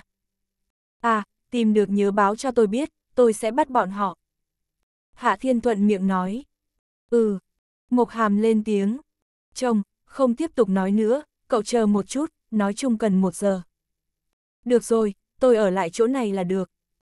Thủ đô, căn cứ ám tổ. Mộc Hàm liên tục gọi đi 10 cuộc điện thoại, cuối cùng nàng dừng lại, gương mặt xinh đẹp có chút tức giận. Cậu ta không sao chứ? Sau lưng Mộc Hàm truyền đến âm thanh. Mộc Hàm xoay người thì thấy Mị Nhi, vẻ mặt có chút hòa hoãn. Chồng không có việc gì, cũng đừng lo, không những mình cậu ấy chẳng có vấn đề, ngay cả phi công và tiếp viên cũng được cứu, máy bay bị một chiếc máy bay chiến đấu chết tiệt bắn rơi. Phi công trên máy bay kia còn sống không? Mị Nhi mở miệng hỏi. Đúng rồi, tôi quên hỏi chuyện này, tôi liên lạc với chồng xem thế nào, để xem có thể tìm được phi công kia hay không. Mộc Hàm kịp phản ứng, máy bay gặp chuyện không may thì phi công chưa chắc sẽ chết, dù sao thì trên máy bay chiến đấu cũng có hệ thống đẩy phi công ra ngoài, an toàn hơn. Mộc Hàm và Hạ Thiên lại liên lạc với nhau, sau khi kết thúc thì nàng nhìn về phía Mị Nhi rồi mở miệng hỏi. Chị có điều tra được gì không? Quân khu thục đô đang có một hành động diễn tập máy bay chiến đấu, nhưng bọn họ không giải thích được vì sao một chiếc máy bay bỏ đội ngũ, chỉ cho rằng đó là phi công làm trái lệnh. nghị Nhi dùng giọng bất mãn nói. Có chiến đấu cơ rời khỏi đội ngũ mà bọn họ không phát hiện ra, trong này nhất định có vấn đề. Chồng cưỡi máy bay đến thuộc đô cũng không có vài người biết rõ, nhưng mới đi được hơn nửa giờ thì gặp công kích, nói cách khác thì đối phương có một giờ để sắp xếp những chuyện này, vì vậy lực lượng của đối phương trong quân đội là rất lớn. Mộc Hàm dùng giọng lạnh lùng nói, có thủ oán với chồng, hơn nữa chỉ trong thời gian ngắn mà có được sắp xếp như vậy, rõ ràng không có vài người, mà thực tế thì tôi chỉ nghĩ đến một người. Nhạc Chi Phong, Mị Nhi khẽ nói ra một cái tên. Mộc Hàm khẽ gật đầu. Trừ hắn ra thì không còn ai khác. Đáng tiếc là chúng ta bây giờ không có chứng cứ. Mị Nhi rõ ràng cũng cho rằng kẻ ra tay là Nhạc Chi Phong, nàng cũng biết gần đây đối phương luôn gây phiền cho Hạ Thiên, vài ngày trước còn dở trò cho tổ điều tra đặc biệt đến thẩm tra năng lực tổ trưởng của Hạ Thiên. Tôi sẽ điều tra thêm, chỉ cần tôi xác định đó là hắn, dù có chứng cứ hay không, cũng sẽ không bỏ qua. Mộc Hàm cắn răng nói. Chồng do tôi sắp xếp máy bay, tôi thiếu chút nữa đã đẩy chồng lên đường chết. Với năng lực của cậu ấy thì cũng không dễ dàng chết đi như vậy, dù máy bay thật sự bị tên lửa bắn trúng, cậu ấy cũng không sao. Mị Nhi trần trừ nói. Mộc Hàm cũng không nói gì, nàng biết Mị Nhi nói không sai, nhưng nàng thật sự không tiếp nhận tình huống có người dùng tên lửa bắn chồng mình. Nhưng cũng vì đối phương sử dụng thủ đoạn này mà nàng cũng dần xác định sự kiện không chút ngẫu nhiên, đối phương tuyệt đối đến vì Hạ Thiên, vì đối phương biết rõ dùng phương thức bình thường căn bản không thể giết chết Hạ Thiên. Hạ Thiên kéo cố hàm xương chạy vội trên rừng, không sai, đây là trên rừng rậm, vì bọn họ đang dẫm chân lên ngọn cây cổ thụ và nghe ngóng khắp bốn phía. Tất nhiên bọn họ không phải đi ngắm cảnh, chính là tìm đám phi công của máy bay chiến đấu. Thiếu ra, bên kia. Cố hàm xương chợt phát hiện cách đó không xa có một chiếc dù. Hạ Thiên bay qua, sau đó hắn phát hiện người này đã chết. Sau khi kiểm tra được một lúc thì Hạ Thiên nói với Mộc Hàm. Vợ, tìm được tên phi công kia, nhưng tên này đã uống thuốc độc tự sát. Tự sát sao? Mộc Hàm có chút thất vọng. Đúng vậy, là tự sát, người này đã nhảy ra khỏi máy bay mà còn tự sát, đúng là có bệnh, muốn chết sao không chết luôn trên máy bay. Hạ Thiên cũng oán trách. Hắn bị phóng ra khỏi máy bay, sau đó thấy mình đáng chết và tự tử. Mộc Hàm khẽ nói, chồng, cậu đừng động vào chuyện này, tôi sẽ điều tra rõ ràng. Được rồi, chờ tôi giải quyết xong vấn đề của sư phụ, sẽ quay về thủ đô. Hạ Thiên cũng không quá quan tâm đến vấn đề này, có lẽ vì gió là thói quen. Chấm dứt liên lạc điện thoại, Hạ Thiên nghĩ rằng còn một lúc nữa sẽ có người đến đón, vì vậy quyết định đưa cố hàm xương đi giao một vòng, nhưng sau khi đi được 10 phút thì hắn cảm thấy có chút nhàm chán. Hạ Thiên đang chuẩn bị về tụ tập với ba người Hạ Thiên, nhưng hắn chợt bay qua sơn cốc và thấy được một đầm nước, vì thế trong đầu có một ý nghĩ. Sương nha đầu, bây giờ tôi không có gì làm, tôi sẽ giúp chị dùng nghịch thiên đệ tứ châm để tẩy thủy. Hạ Thiên mang theo cố hàm xương bay xuống bên cạnh đầm nước rồi mở miệng nói. Vâng, cảm ơn thiếu gia. Cố hàm xương chợt có chút dao động. À, xương nha đầu, chị cởi quần áo ra đi. Hạ thiên tùy ý mở miệng. Cố hàm xương có chút chần chừ, vài giây sau nàng mới khẽ hỏi. Thiếu gia, là cởi áo ngoài sao? Áo nào cũng cởi cả ra, tóm lại phải cởi sạch. Hạ thiên vẫn tỏ ra hời hợt, điều này làm cho người ta cảm thấy hắn giống như đứng trước mặt một cô gái cởi chuồng cũng không có vấn đề. Vâng, thiếu ra. Cố hàm xương do dự thêm vài giây, cuối cùng nàng cởi dây áo, sau đó từng phần cơ thể lộ ra ngoài không khí. Ánh mắt Hạ Thiên trở nên nóng bỏng, xương nhà đầu này có dáng người tốt hơn dự đoán của hắn trước đó, đường cong duyên dáng, da thịt trong suốt, bộ vị no đủ, mông đẹp và khá lớn, đùi thon dài đẹp, có thể nói cởi đồ ra càng hoàn mỹ và mê người. Đúng là cực phẩm nha hoàn. Hạ Thiên thì thào nói, bàn tay cũng vô tình rơi lên người cố hàm xương, chậm rãi vuốt ve da thịt của nàng. Tuy nàng làm người ta sinh ra cảm giác khá lạnh, nhưng da thịt của nàng lại rất ấm, vuốt ve như ngọc, dịu dàng và tràn đầy cảm xúc. Cố hàm xương khẽ run lên nhẹ nhẹ, điều này càng làm cho Hạ Thiên vui vẻ, vì hắn phát hiện nàng cũng không phải không quan tâm đến bất kỳ vấn đề gì, ít nhất bây giờ cũng làm cho nàng có phản ứng. Cái hắn cần là một nha hoàn xinh đẹp còn sống sờ sờ, không phải là một búp bê trầm lặng như máy. Tuy cố hàm xương còn chưa thích ứng nhưng Hạ Thiên cũng không quan tâm, vì hắn vững tin, một thời gian sau nàng sẽ thích ứng và phục vụ hắn. Lúc này xem như lời lớn, Trang Vân Đông quá ngu, vợ tốt mà không muốn chỉ biết tu luyện thành siêu cấp ngu ngốc. Hạ Thiên lầm bầm nói, sau đó hắn lưu luyến thu tay và hít vào một hơi, dùng giọng tỉnh táo nói. Sương nha đầu, bây giờ tôi sẽ tẩy tủy cho chị. Hạ Thiên nói dứt lời thì đã đâm ngân châm vào người cố hàm xương, nghịch thiên đệ tứ châm tẩy tủy lại được thi triển. chương 1218, tiểu tử ngươi sẽ bị xét đánh. Dù tẩy tủy là quá trình quá quen thuộc với Hạ Thiên, nhưng quá trình tẩy tủy cho cố hàm xương thật sự phức tạp hơn trước đây rất nhiều. Đáng lý ra với công lực hiện tại của Hạ Thiên thì tẩy tủy sẽ không đến 10 phút, nhưng có lẽ cố hàm xương quá lớn tuổi, vì vậy trong cơ thể nhiều tạp chất hơn người thường, quá trình cũng dài hơn. Nước đen liên tục từ trong người cố hàm xương chảy ra, dần dần bao trùm cơ thể, vì vậy mà Hạ Thiên nhanh chóng phát hiện nha hoàn của mình được bùn đen bao phủ. Quá trình lần này Hạ Thiên mất nửa giờ, hắn và cố hàm xương đều được hấp thu rất nhiều linh khí, cuối cùng hắn mới thu ngân châm, ném nha hoàn đen xì vào trong dòng nước, sau đó cũng nhảy xuống dùng tốc độ nhanh nhất biến nha hoàn bùn thành xinh đẹp. Cố hàm xương được tắm rửa sạch sẽ mà tươi đẹp như trẻ nít, da thịt như em bé, âm thanh búp bê, tư thái tuyệt đẹp và gương mặt thiên sứ, thật sự khó thể kiềm chế. Xương nha đầu, chị thật sự càng thêm xinh đẹp. Hạ thiên liên tục xoa nắn trên người cố hàm xương, cảm giác quá tốt. Lúc này ngọn lửa trong lòng hắn cũng bùng lên, nơi đây không có giường nhưng hắn thật sự muốn nha hoàn làm ấm giường cho mình. Cố hàm xương không nói gì nhưng hít thở không còn vững vàng, tuy nàng đã lớn tuổi nhưng thực tế trăm năm qua chỉ lo tu luyện, không có nhiều kinh nghiệm nhân sinh. Thế giới của các nàng rất nhỏ, mà kinh nghiệm lúc này rõ ràng là lần đầu tiên, dù trước đó nàng có hôn phu, nhưng chỉ là danh nghĩa mà thôi. Không còn sớm nữa, chúng ta để lần sau. Hạ thiên cuối cùng cũng thu tay về, hắn đưa cố hàm xương nhảy ra ngoài hồ nước, sau đó làm nàng trở nên khô giáo. Sương nha đầu, mau mặc quần áo vào, có vài chiếc máy bay đang đến, tôi cũng không muốn cho người khác thấy được chị. Vâng, thiếu gia.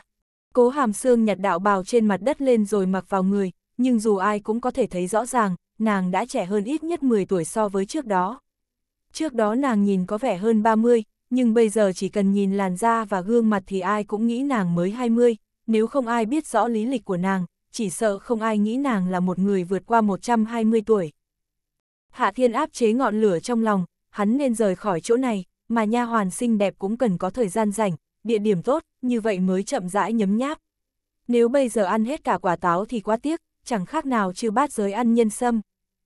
Sương nha đầu, chúng ta đi thôi. Hạ Thiên lại giữ lấy tay cố hàm xương, sau đó bay lên, một lát sau hai người đi đến vị trí của ba người Hàn Lan Lan. Lúc này trực thăng vừa phát hiện ra bọn họ, đang chuẩn bị đáp xuống bãi đất trống. Khi thấy trực thăng thì cố hàm xương không khỏi mở miệng hỏi. Thiếu ra, chúng ta còn phải đi máy bay sao? Chị không muốn đi sao? Hạ Thiên hỏi. Tôi không thích ngồi máy bay. Cố hàm Sương khẽ nói, dù nàng biết đi theo Hạ Thiên lên máy bay sẽ không nguy hiểm, nhưng nàng sợ máy bay, vừa rồi lại có kinh nghiệm chết người, vì thế nàng càng sợ hơn. Chúng ta không ngồi máy bay là được. Hạ Thiên lập tức làm ra quyết định. Này, ba người lên máy bay đi, tôi sẽ không đi máy bay. Nhưng, tổ trưởng, anh chẳng phải không biết đường à? Hàn Lan Lan không khỏi hỏi. Không sao, tôi đi theo máy bay là được. Hạ Thiên chẳng quan tâm. Hàn Lan Lan chợt ngây người, nhưng nàng nhớ đến tình cảnh một giờ trước đó hắn đưa mình và cố hàm xương từ trên máy bay xuống đất, điều này làm nàng đến bây giờ vẫn không tưởng tượng được. Tổ trưởng này quá thần kỳ, tuyệt đối là có năng lực đi theo trực thăng, vì vậy nàng cũng không nói gì, chỉ đi đến trực thăng. Sau đó mọi chuyện rất thuận lợi, hai chiếc máy bay chở Hàn Lan Lan và ba người bay đi, mà Hạ Thiên và Cố Hàm Sương lại tay trong tay chạy theo hai chiếc trực thăng. Lần này hai chiếc trực thăng thật sự may mắn hơn chiếc máy bay trước đó của Hạ Thiên, không những chẳng gặp máy bay chiến đấu, cũng không gặp tên lửa. Hơn một giờ sau máy bay đến thành phố Thục Đô, Hạ Thiên và Cố Hàm Sương cũng đến Thục Đô. Lúc này là 4 giờ chiều, Hạ Thiên bấm số điện thoại của Trương Minh Đà, cuối cùng cũng không cho đại sư phụ đến đón, hắn chỉ ngồi vào taxi đi theo địa chỉ mà Trương Minh Đà nói để đến bệnh viện Tây Hoa của Đại học Thục Đô. Hạ Thiên cuối cùng nhận ra Trương Minh Đà ở trước cổng bệnh viện, một thời gian không gặp, Trương Minh Đà có vẻ già hơn, xem ra thời gian qua cũng không sống vui vẻ gì. Tiểu tử, người đến nhanh vậy à? Trương Minh Đà thấy Hạ Thiên thì rất vui nhưng vẫn có chút ngạc nhiên. Đại sư phụ, ngài chuẩn bị bồi thường tiền cho tôi. Hạ Thiên lười biếng nói. Vì đến đây tôi mất một chiếc máy bay. Cái gì? Trương Minh Đà lập tức mất hứng. Tiểu tử cậu muốn ta đền máy bay. Đến khi có tiền thì hãy bồi thường, bây giờ tôi biết chắc ông không có xu nào. Hạ Thiên lười biếng nói, sau đó hắn xoay người bỏ đi. Được rồi, mau đưa tôi đến gặp người bệnh, chữa hết bệnh rồi nói sau. Trương Minh Đà chợt thấy cố hàm xương, rõ ràng vẻ đẹp và cách ăn mặc của nàng đã làm lão phải kinh ngạc, lão cũng hỏi ngay. Tiểu tử, đây là cô vợ nào của ngươi? Sao ta không nghe nói ngươi có một người vợ là đạo cô? Cô ấy là nha hoàn của tôi, không phải là vợ. Hạ Thiên thuận miệng trả lời, sau đó hắn nhìn cố hàm xương. Sương nha đầu, ông lão này là sư phụ của tôi, nhưng chị đừng quan tâm đến ông ta. Biết rồi, thiếu gia. Cố hàm xương khẽ đáp, nhưng một giây sau nàng lại bắt chuyện với Trương Minh Đà. Chào đại lão gia. Tiểu tử, một cô gái xinh đẹp như vậy sao chỉ cho làm nha hoàn. Tiểu tử ngươi coi chừng bị sấm sét đánh chết. Trương Minh Đà chừng mắt nhìn Hạ Thiên, sau đó lại tán thưởng cố hàm xương. Ngươi xem, người ta lễ phép hơn ngươi, mà ngươi cũng nên có đầu óc học tập chứ. Này, tôi đến đây thiếu chút nữa bị tên lửa bắn chết, nếu ngài nói như vậy thì tôi sẽ đi. Hạ Thiên dùng ánh mắt bất mãn nhìn Trương Minh Đà. Cái gì? Trương Minh Đà ngây người. Tên lửa, tiểu tử ngươi nói thật. Tôi lừa ngài làm gì? Hạ Thiên có chút mất vui. Không biết là thằng ngu nào lái máy bay chiến đấu dùng tên lửa bắn rơi máy bay của tôi. Trương Minh Đà dùng ánh mắt quái dị nhì N Hạ Thiên, một lúc lâu sau hắn mới hỏi một câu. Tiểu tử, rốt cuộc ngươi là người hay quỷ? Nói nhảm, tất nhiên tôi là người. Hạ Thiên càng mất hứng, sau đó hắn kéo cố hàm xương. Xương nha đầu, chúng ta về. Hạ Thiên nói xong là muốn đi ngay. Trương Minh Đà chợt trở nên gấp gáp. Này, tiểu tử chờ chút, chờ chút, ta cũng mặc kệ ngươi là ma hay quỷ, trước tiên chữa bệnh cái đã, chỉ cần chữa tốt là được. Sương nha đầu, chúng ta thương lượng cái nhé. Hạ Thiên nhìn cố hàm Sương rồi khẽ hỏi. Thiếu ra, chuyện gì? Cố hàm Sương hỏi. Đánh ông lão kia. Hạ Thiên chỉ Trương Minh Đà.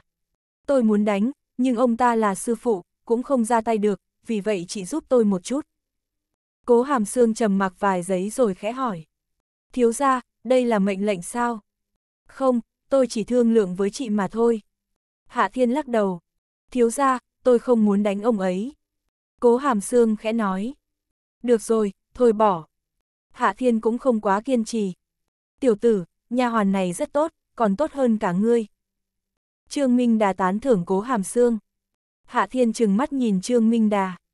Sương nha đầu là nha hoàn của tôi, nếu ngài có ý, tôi sẽ đánh thật đấy. Tiểu tử, có thằng đồ đệ khốn kiếp nào nói với sư phụ như vậy sao? Trương Minh Đà cũng mất hứng, tiểu tử này càng lúc càng kỳ cục, còn muốn ép nha hoàn đánh sư phụ. Nếu ông không thích thì cứ trục xuất tôi ra khỏi sư môn, tôi không ngại. Hạ Thiên chẳng quan tâm. Tiểu tử khá lắm, trục xuất ra chẳng phải hoàn thành ước nguyện của ngươi sao. Trương Minh Đà hừ một tiếng. Được rồi, không nói nhiều nữa, đi thôi, đi xem bệnh cho cháu gái của ta. Đại sư phụ, ngài có cháu gái. Hạ Thiên lập tức ngạc nhiên lớn. Sao, không thể có cháu gái à? Trương Minh Đà tức giận hỏi. Không phải ngài không có con sao, chẳng có con sao có cháu. Hạ Thiên rất mê hoặc, dù hắn là thần y thì cũng không thể hiểu được trò này. Tiểu tử, ai nói ta không có con? Trương Minh Đà hừ một tiếng.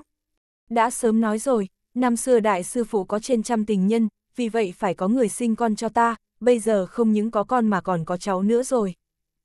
Như vậy à? Hạ Thiên xem như hiểu được, hắn hỏi lại.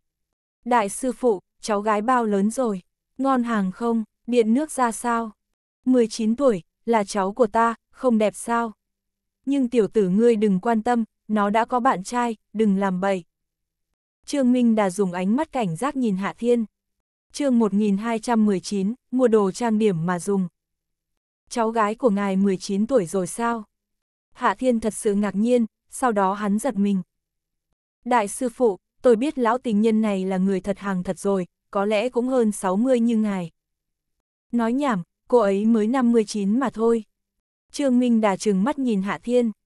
Hai người vừa nói chuyện vừa đi đến lầu ba vân ba, Trương Minh đà dừng lại ngoài một phòng bệnh rồi hạ giọng.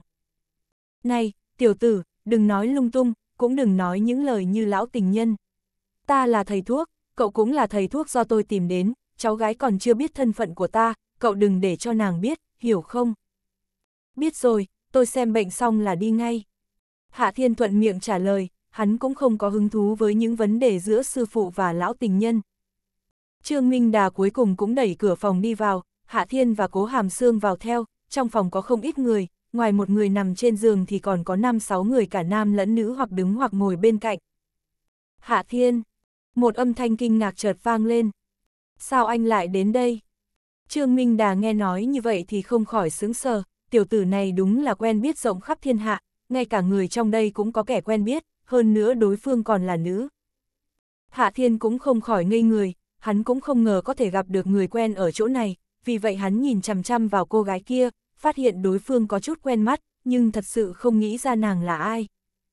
Anh không biết tôi sao? Cô gái kia thấy Hạ Thiên có vẻ sướng sờ thì hình như có hơi thất vọng. Là tôi, tôi là Mã Đình, chúng ta đã gặp mặt nhau ở thành phố Giang Hải. À, là cô, tôi nhớ ra rồi. Hạ Thiên cuối cùng cũng nghĩ ra, trước đó hắn đến thành phố Giang Hải chưa lâu, vì xử lý cha con Kỷ Nam và Kỷ Minh nên cũng có quan hệ với cô gái Mã Đình này. Hắn còn nhớ cha của Mã Đình là Mã Nhị Cương, là lái xe của kỳ Nam, nhưng bị kỳ Nam giết người diệt khẩu. Hạ Thiên có trí nhớ rất tốt, nhưng Mã Đình không phải là mỹ nữ, trên cơ bản khó để hắn quan tâm. Đồng thời lúc này nàng cũng có chút biến đổi, vì vậy khi gặp mặt hắn cũng khó thể nhận ra. Nhưng sau khi suy xét thì Hạ Thiên cũng nhớ được không ít chuyện về Mã Đình, hắn nhớ nàng học đại học thuộc đô, còn có bạn trai tên là Phương Chí Hiên, trước đó Mã Đình còn tưởng rằng hắn là đặc công long tổ. Hạ Thiên đang suy nghĩ thì Mã Đình kéo một người thanh niên đeo kính đến bên cạnh. Chí Hiên, anh ấy là người mà trước đó em từng nói, rất lợi hại, là Hạ Thiên ở thành phố Giang Hải. Chào anh, tôi là Phương Chí Hiên, Đình Đình nói anh trước đó đã cứu cô ấy. Phương Chí Hiên vươn tay với Hạ Thiên, rõ ràng muốn bắt tay. Nhưng hắn thật sự không biết Hạ Thiên không thích bắt tay với người khác, càng không thích bắt tay với đàn ông, vì vậy Hạ Thiên tất nhiên sẽ căn bản không quan tâm đến Phương Chí Hiên. Mã Đình lập tức cảm thấy xấu hổ, nàng vội vàng nói một câu. Hạ Thiên, Chí Hiên là bạn trai của tôi, trước kia tôi đã từng nói với anh rồi. À, tôi nhớ rồi. Hạ Thiên thuận miệng lên tiếng. Phương Chí Hiên ngượng ngùng thu tay, trong lòng cũng có chút bất mãn, đồng thời có chút nghi ngờ, chẳng lẽ người này có quan hệ mập mờ với Mã Đình. Nếu Hạ Thiên biết Phương Chí Hiên hoài nghi mình như vậy, sợ rằng hắn sẽ lập tức bắt chặt tay của Phương Chí Hiên, coi như vứt bỏ hoài nghi chết người kia. Người bị bệnh là cô ấy sao? Hạ Thiên nhìn Trương Minh Đà rồi chỉ vào cô gái ở trên giường, cô gái này quấn đầy băng, trên trán cũng có băng, chỉ nhìn ngũ quan thì đơn thuần là xinh đẹp, tuy chưa đến mức độ của Hạ Thiên, nhưng rõ ràng Trương Minh Đà cũng không tính là nói dóc cháu gái xinh đẹp. À, nó tên là Hứa Thiến Thiến, bị một tiểu tử khốn kiếp tạt axit, nhưng nó khá may mắn, đối phương muốn tạt vào mặt nhưng nó chỉ dính vài giọt trên trán, những thứ khác đều bị dùng tay chặn lại. Trương Minh Đà khẽ nói, khi ta đến đây thì nó đã vào bệnh viện, ta đã nghĩ nhiều biện pháp, dùng một số thuốc đông y, tuy có thể làm cho thương thế của nó tiến triển tốt nhưng không thể nào chữa hoàn toàn. Bệnh viện này chuẩn bị cấy ra cho nó, nhưng như vậy cũng rất khó, vì tay phải của nó hơn phân nửa đều bị thương nghiêm trọng, sau này không chỉ ảnh hưởng đến mỹ quan, còn ảnh hưởng đến cuộc sống. Hạ Thiên, anh là thầy thuốc sao? Mã Đình không nhịn được phải hỏi một câu. Đúng vậy, tôi là hạ thần y đệ nhất thiên hạ. Hạ Thiên thuận miệng trả lời một câu, sau đó phàn nàn với Trương Minh Đà. Sao ngài không nói sớm là bị tạt axit, nếu không tôi sẽ mua thuốc cho cô ấy bôi lên, không cần tôi phải tự mình đến đây. Tiểu tử, định làm cho qua sao? Đây là bỏng nghiêm trọng, không phải tùy tiện bôi thuốc là được. Trương Minh Đà dùng giọng mất vui nói. Tôi không phải tùy tiện bôi thuốc, nhưng thuốc do tôi điều phối, không giống với thuốc khác. Hạ Thiên dùng ánh mắt mất hứng nhìn Trương Minh Đà. Lần sau nếu có người bị phỏng, ngài cứ nói người ta mua một ít đồ trang điểm tiểu mỹ nhân bôi lên là được. Đám người trong phòng nghe rõ lời nói của Hạ Thiên mà ngây người, người này rốt cuộc là thầy thuốc hay nhân viên mỹ phẩm. Người ta bị tạt axit, hắn lại nói đi lấy đồ trang điểm bôi lên sao. Nếu trên đời thật sự có thứ đồ trang điểm như vậy, sợ rằng đã bị bán sạch từ lâu rồi. Thầy thuốc trương, tiểu tử này thật sự là thần y sao? Một người đàn ông trung niên không nhịn được phải mở miệng, mà hắn cũng chính là người đàn ông trung niên duy nhất trong phòng, những người khác phần lớn là nữ, chỉ còn một Phương Chí Hiên còn rất trẻ, mà Trương Minh Đà thì lại quá già. Hứa tiên sinh, tất nhiên là thật, chẳng lẽ anh không tin tôi sao? Trương Minh Đà vội vàng nói, sau đó lão khẽ giới thiệu thân phận của người đàn ông trung niên kia cho Hạ Thiên. Nó là Hứa Huy, là cha của Hứa Thiến Thiến, cũng chính là, à, tiểu tử cậu biết rồi đấy. Biết rõ, là con của ngài. Hạ Thiên thầm nói một câu. Tóm lại tiểu tử cậu giúp Thiến Thiến chữa tốt đi, đừng nói đến đồ trang điểm nào khác, dù thứ đồ trang điểm kia có thể chữa bệnh thì cũng phải làm cho người ta tin mới được. Trương Minh Đà khẽ nói. Hạ Thiên lập tức bất mãn, hắn lớn tiếng nói. Cái gì là không thể chữa bệnh, thứ đồ trang điểm kia có thể chữa những vết bỏng thế này, ngài biết thứ kia vì sao được tạo ra không? Chính là năm xưa An Khả Khả bị bỏng, tôi mới giúp cô ấy điều phối, ngài xem gương mặt bây giờ của An Khả Khả là thế nào, có vẻ như bị phỏng sao? À, tiểu tử cậu nói, An Khả Khả trước kia cũng bị tổn thương. Trương Minh Đà ngây cả người. Mã Đình ở bên cạnh hỏi một câu. Hạ Thiên, anh nói An Khả Khả, là ngôi sao lớn kia sao? Anh quen biết cô ấy à? Cô ấy là vợ tôi, tôi có thể không biết sao? Hạ Thiên thuận miệng nói. Khoác lác, bạn trai của Mã Đình là Phương Chí Hiên thật sự không nhịn được phải nói thầm một tiếng. Mặc kệ mọi người có tin hay không. Hạ Thiên lấy ra một cây ngân châm. Thôi được, dù sao tôi cũng đã đến đây, cũng lười điều phối thuốc chữa thương, trực tiếp dùng châm cứu cho rồi, vừa nhanh hơn, vừa nhanh chóng được đi. Hạ Thiên nói xong thì vung tay, hắn tháo băng gạc trên người hứa thiến thiến xuống, sau đó dùng tốc độ mà mắt thường khó thể thấy để liên tục đâm châm lên tay và lên chán nàng. Cha của hứa thiến thiến là hứa huy thật sự có chút nghi ngờ y thuật của Hạ Thiên, nhưng hắn vẫn không kịp ngăn cản. Khi thấy Hạ Thiên đâm châm lên người mà hứa thiến thiến vẫn không có vấn đề gì, vì vậy hứa huy cũng quyết định trước tiên nên theo dõi kỳ biến, dù sao người này cũng do Trương Minh Đà mời đến, mà mẹ của hắn đã nói, Trương Minh Đà này tuyệt đối có thể tin, vì vậy lúc này hắn tạm thời coi như tin tưởng Hạ Thiên kia. Tốc độ đâm kim của Hạ Thiên càng lúc càng nhanh, thời gian cũng dần trôi qua, đã hơn nửa giờ, trong nửa giờ đó Hạ Thiên đã đâm lên bộ vị bị thương của hứa thiến thiến vài chục lần. Băng hỏa linh khí hùng mạnh dùng tốc độ nhanh nhất để chữa thương, khi công lực của Hạ Thiên liên tục được tăng cường thì hiệu quả ngày càng mạnh, vì thế mà chỉ mất nửa giờ thì kỳ tích đã phát sinh. Hạ Thiên thu hồi ngân châm, sau đó bàn tay đưa đến vị trí bị thương trên tay và trên trán của hứa thiên thiến, cuối cùng hắn rụt tay về và dùng giọng không nhanh không chậm nói ra hai chữ. Xong rồi, xong rồi. Đám người trong phòng bệnh đưa mắt nhìn hứa thiến thiến, sau đó ai cũng ngây dại, điều này, mình hoa mắt sao? Sao lại không thấy hứa thiến thiến có chút dấu vết bị thương? Tiểu tử, người thật giỏi. Trương Minh Đà cũng không nhịn được phải than vãn sợ hãi, tuy lão đã biết đồ đệ của mình từ lâu đã trò giỏi hơn thầy, nhưng khi tận mắt thấy Hạ Thiên đơn giản chữa tốt cho hứa thiến thiến thì lão có chút cảm khái, y thuật của tiểu tử này thật sự đã có thể xưng là thần y. Tôi đã nói rồi, chẳng có gì tôi không làm được. Hạ Thiên duỗi lưng một cái rồi nói. Không còn gì nữa, tôi đi đây. Hạ Thiên nắm lấy bàn tay của cố hàm xương rồi đi ra ngoài phòng. Này, chờ chút, bây giờ ngươi đi đâu? Trương Minh Đà vội vàng gọi Hạ Thiên. Về thủ đô. Hạ Thiên thuận miệng nói. Đã 5 giờ rồi, sao lại về thủ đô? Trương Minh Đà nói. Ngày mai ngươi đi cũng được. Tôi thích đi lúc nào mà chẳng được.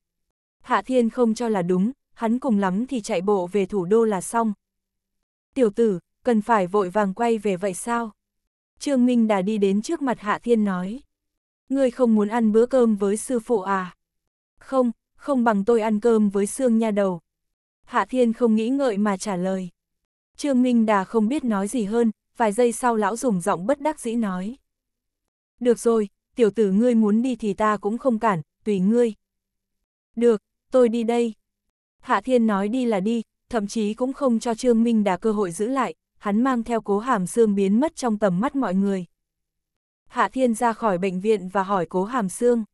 Sương nha đầu, chị nói xem đêm nay chúng ta nên nghỉ ở đâu chương 1220, các người cũng là diễn viên. Thiếu ra, không phải cậu nói sẽ về thủ đô sao? Cố hàm xương khẽ hỏi, bây giờ nàng nói với Hạ Thiên cũng nhiều hơn trước, cũng không phải chỉ là vài chữ như trước. À, tôi lừa bọn họ mà thôi. Hạ Thiên hời hợt nói. Chuyên cơ của chúng ta đã bị tên lửa bắn rơi, hơn nữa chị cũng không thích đi máy bay, chúng ta cũng không thể dùng biện pháp khác để quay về. Bây giờ đã 5 giờ, tôi cũng không quen đường về thủ đô, nếu bay về sợ rằng sẽ lạc đường, vì vậy tôi cảm thấy đêm nay không về, đợi ngày mai đi xe lửa về. Hạ Thiên vừa nói vừa nhìn chung quanh xem có khách sạn hay không, mà xem xét hắn lại phát hiện gần đó có một khách sạn vài chục tầng, vì vậy hắn nói. Sương nhà đầu, chị xem khách sạn bên kia, tôi thấy nó không tệ, hay là tốt nay chúng ta vào đó. Thiếu ra, cậu quyết định là được. Cố Hàm Sương khẽ trả lời. Được rồi, chúng ta đi. Hạ Thiên kéo Cố Hàm xương đi về phía khách sạn. Lần này Hạ Thiên đi không nhanh, vì vậy 10 phút sau cả hai mới đến mục đích. Khách sạn này tên là Hoa Đô, Hạ Thiên kéo Cố Hàm xương đi vào, hắn đi đến quầy tiếp tân, móc chứng minh đưa cho cô tiếp tân xinh tươi. Cho anh một gian phòng. Anh muốn gian thường hay tình nhân? Giọng điệu của nữ nhân viên phục vụ cũng rất ngọt ngào, lại khá khách khí. Tôi muốn ở gian phòng tốt nhất. Hạ Thiên nhanh chóng nói, sau đó nhìn cố hàm xương, trong lòng hắn đã có kế hoạch là tối nay sẽ ăn sạch cực phẩm nha hoàn, vì vậy phải tìm chỗ tốt. Phòng tốt nhất, nhân viên phục vụ chợt sững sờ, sau đó nàng nhìn Hạ Thiên, lại nhìn cố hàm xương, chợt ngây người, thì ra là diễn viên. Cô nhân viên phục vụ nghĩ cố hàm xương là một nữ ngôi sao điện ảnh nào đó, vì vậy nàng lập tức nói. Tiên sinh, chỗ chúng tôi có một gian phòng tổng thống, một tối 18.000 đồng, anh có muốn không? Ok, sắp xếp đi. Hạ Thiên không chút do dự mà lấy thẻ tín dụng đưa cho nhân viên phục vụ. Sau khi đăng ký xong thì một cô nhân viên phục vụ khác dùng nụ cười ngọt ngào chào đón Hạ Thiên và Cố Hàm Sương. Tiên sinh, tiểu thư, làm phiền hai vị theo tôi, tôi đưa hai vị lên phòng. Hạ Thiên và Cố Hàm Sương đi theo cô nhân viên phục vụ vào thang máy lên tầng cao nhất, cũng giống như những khách sạn khác, phòng tổng thống nơi đây cũng được sắp xếp ở tầng trên cùng. Vừa từ thang máy đi ra thì Hạ Thiên đã thấy hai tên đàn ông vạn vỡ mặc tây trang đứng trong hành lang, hai tên kia thấy Hạ Thiên và Cố Hàm Sương thì cũng đi đến ngay. Các người là ai? Tên đàn ông cao giáo mặc tây trang quát hỏi. Tên đàn ông lùn thì dùng ánh mắt bất mãn nhìn cô nhân viên phục vụ rồi nói. Có chuyện gì, không phải đã nói rõ ràng, không có sự cho phép của chúng tôi, không được cho ai vào sao. Liên quan gì đến các người? Hạ Thiên chừng mắt nhìn tên đàn ông cao giáo. Mà nhân viên phục vụ cũng giải thích với tên đàn ông lùn. Xấu hổ quá, vị tiên sinh và tiểu thư này là khách của một gian phòng tổng thống khác, khách sạn chúng tôi có hai gian phòng tổng thống, các anh một gian, vị tiên sinh này đặt gian còn lại. Như vậy sao được? Tên đàn ông mặc tây trang dùng giọng bất mãn nói. Chúng tôi đã sớm nói rồi, tầng cao nhất này không cho ai khác tiến lên, chúng tôi cũng không muốn gặp đám chó con. Này, các chú không muốn thì cút đi, đừng ở đây lắm mồm. Hạ Thiên rất mất vui, sau đó hắn nhìn cô nhân viên phục vụ. Đừng quan tâm đến bọn họ, phòng nào là của chúng tôi. Tiên sinh, phòng của các anh ở ngay bên cạnh. Cô nhân viên phục vụ nói xong thì đi về phía bên kia. Nhưng tên đàn ông cao lại nổi giận. Mày nói gì, thằng kia, ông cảnh cáo mày, mau trả phòng, đừng tưởng có tiền thì được ở phòng tổng thống, chúng mày chỉ là loại nhà giàu mới nổi, tao đã gặp nhiều rồi, á. Hạ Thiên không có tâm tình nói nhảm với đám người này, hắn trực tiếp tung cước đạp bay một tên, sau đó tiếp tục đạp ngã tên đàn ông lùn xuống đất. Dù sao nãy giờ tên lùn cũng không làm gì hắn, nhưng sẽ tìm phiền toái cho hắn, vì thế đánh ngã luôn một lượt. Hai người này bị đạp ngã mà một lúc lâu sau không đứng lên, vì vậy nhân viên phục vụ sợ ngây người, nàng thật sự không biết làm sao. Này, đừng ngây ra nữa, mau đưa bọn tôi vào phòng. Hạ Thiên dùng giọng không vui nói. À, tốt, tốt. Nhân viên phục vụ lúc này mới kịp phản ứng, nàng thật sự thất hồn lạc phách theo Hạ Thiên và cố hàm xương vào phòng tổng thống, sau đó vội vàng bỏ đi. Tuy cô nhân viên phục vụ cũng không ưa gì hai tên đàn ông kia, nhưng bây giờ khách bị đánh, mà ra tay lại là một vị khách khác, sự việc này nàng phải báo cáo lên trên, nếu không xảy ra chuyện thì nàng cũng khó thể đảm đương được. Đối với một kẻ đánh người là bình thường như Hạ Thiên thì tất nhiên sẽ chẳng quan tâm, hắn kéo cố hàm xương đi một vòng trong phòng tổng thống, sau đó hắn phát hiện mình thất sách. Phòng tổng thống này rất rộng, trong phòng lại có bốn phòng ngủ, như vậy chẳng phải ép hắn không danh chính ngôn thuận để cố hàm xương làm ấm giường à. Không đúng, chị ấy là nha hoàn của mình, làm ấm giường là việc danh chính ngôn thuận. Hạ Thiên lập tức nói với chính mình, dù có 100 phòng thì vẫn không thể nào ảnh hưởng đến kế hoạch ăn hết nha hoàn xinh đẹp của hắn. Sương nha đầu, chị cảm thấy trong này thế nào? Hạ Thiên kéo cố hàm Sương tiến vào phòng chính, kéo màn nhìn thành phố qua cửa sổ rồi thuận miệng hỏi. Rất tốt. Cố hàm Sương khẽ đáp. Chị đã từng tới những chỗ thế này chưa? Hạ Thiên lại hỏi. Trước đây rất lâu đã từng đến một lần. Cố hàm Sương suy nghĩ rồi nói. Nhưng bây giờ và trước kia là hoàn toàn khác. À, tôi là lần đầu tiên. Hạ Thiên duỗi lưng một cái. Đúng rồi, Sương nhà đầu, chị biết đi đường nào đến núi Thanh Thành không? Nếu đi trên đất thì tôi còn không quá quen thuộc, nhưng nếu bay qua không trung, tôi có thể chỉ ra núi Thanh Thành ở phương vị nào. Cố Hàm Sương suy nghĩ rồi nói. À, sau này hãy nói, bây giờ không muốn đi. Hạ Thiên hỏi núi Thanh Thành cũng không phải nguyên nhân gì khác, vì người tu tiên ở thành phố Thục Đô ở núi Thanh Thành. Hạ Thiên ngồi đợi trong phòng một lúc, sau đó hắn điện thoại cho Mộc Hàm, nói ra tình huống nơi đây, hơn nữa còn nói với Mộc Hàm là tối nay hắn không về. Sau khi cúp điện thoại thì đã hơn 5 giờ, Hạ Thiên quyết định đưa cố Hàm Sương đi ăn cơm, suy nghĩ của hắn là làm việc lớn phải có thể lực sung túc, muốn có thể lực phải ăn cơm. Vì vậy muốn làm việc gì lớn thì việc đầu tiên phải cơm nước cái đã. Khi Hạ Thiên chuẩn bị ra khỏi cửa thì có hai tiếng đập cửa vang lên, Hạ Thiên đi ra mở cửa, sau đó hắn phát hiện một nam một nữ, đều 30 tuổi. Chào anh, Hạ Tiên Sinh, tôi là Tổng Giám đốc Hoa Mỹ Vân của khách sạn Hoa Đô, vị này là đội trưởng mạnh lượng của đội bảo vệ khách sạn. Thật sự xấu hổ khi quấy rầy anh, chúng tôi có chút chuyện muốn thương lượng với anh, không biết anh có rảnh không? Mở miệng là người phụ nữ hơn 30 tuổi, nàng có tướng mạo không tệ, khí chất cũng xuất chúng, có lẽ vì Hạ Thiên là khách ở phòng tổng thống nên vị tổng giám đốc này có chút khách khí với Hạ Thiên. Có việc gì thì nói đi, tôi chuẩn bị đi dùng cơm. Hạ Thiên thuận miệng nói. Hạ Tiên Sinh, chúng tôi có thể vào không? Hoa Mỹ Vân cười hỏi. Vào đi. Hạ Thiên cũng không có vấn đề, bây giờ hắn chưa đói, tối nay ăn cơm cũng không quá gấp. Bốn người ngồi xuống ghế salon ở phòng khách, sau khi nhìn rõ bộ dạng của cố Hàm xương thì Hoa Mỹ Vân và Mạnh Lượng đều giật mình, rõ ràng vẻ đẹp của cố Hàm xương vượt xa dự đoán của bọn họ. Không biết tiểu thư này xưng hô thế nào? Hoa Mỹ Vân nhìn cố Hàm xương, nàng dùng giọng khách khí hỏi. Tuy những năm gần đây gái đẹp như mây, nhưng đẹp đến mức này cũng khó thấy, mà cách ăn mặc cũng hiếm thấy không kém. Tôi họ cố, cố Hàm xương. Cố Hàm xương nhìn Hạ Thiên rồi trả lời. Cố tiểu thư, cô và Hạ Tiên Sinh đều là người từ bên ngoài đến thục đô sao? Hoa Mỹ Vân lại hỏi. Từ thủ đô đến. Cố Hàm xương trả lời. Này, các người không phải nói có gì thương lượng sao? Hạ Thiên có chút bất mãn. Có gì thì nói ra, đừng nói nhảm. Xấu hổ quá, chỉ là cố tiểu thư quá xinh đẹp, tôi có chút hiếu kỳ. Hoa Mỹ Vân cười xấu hổ. Không cần hiếu kỳ, chị ấy là nha hoàn ngoan của tôi, ai dám có ý với chị ấy, tôi sẽ xử lý ngay. Hạ Thiên tức giận nói. Hoa Mỹ Vân chợt sướng sờ, nha hoàn sao? Bây giờ còn nha hoàn à? Thậm chí là một người phụ nữ xinh đẹp như vậy mà làm nha hoàn. Hạ tiên sinh, các người cũng là diễn viên sao? Mạnh lượng nãy giờ không nói gì, lúc này hắn không nhịn được phải hỏi một câu, hắn thấy cố hàm xương ăn mặc như đạo cô, lại là nha hoàn của Hạ Thiên, căn bản là đang đóng phim, cái gọi là nha hoàn chỉ là nhân vật trong phim của cố hàm xương mà thôi. Anh mới là diễn viên. Hạ Thiên trừng mắt nhìn Mạnh Lượng. Sao các người nói nhảm nhiều như vậy? Nếu không có chính sự, các người ra ngoài đi. Hạ tiên sinh, anh đừng nóng. Hoa Mỹ Vân vội nói.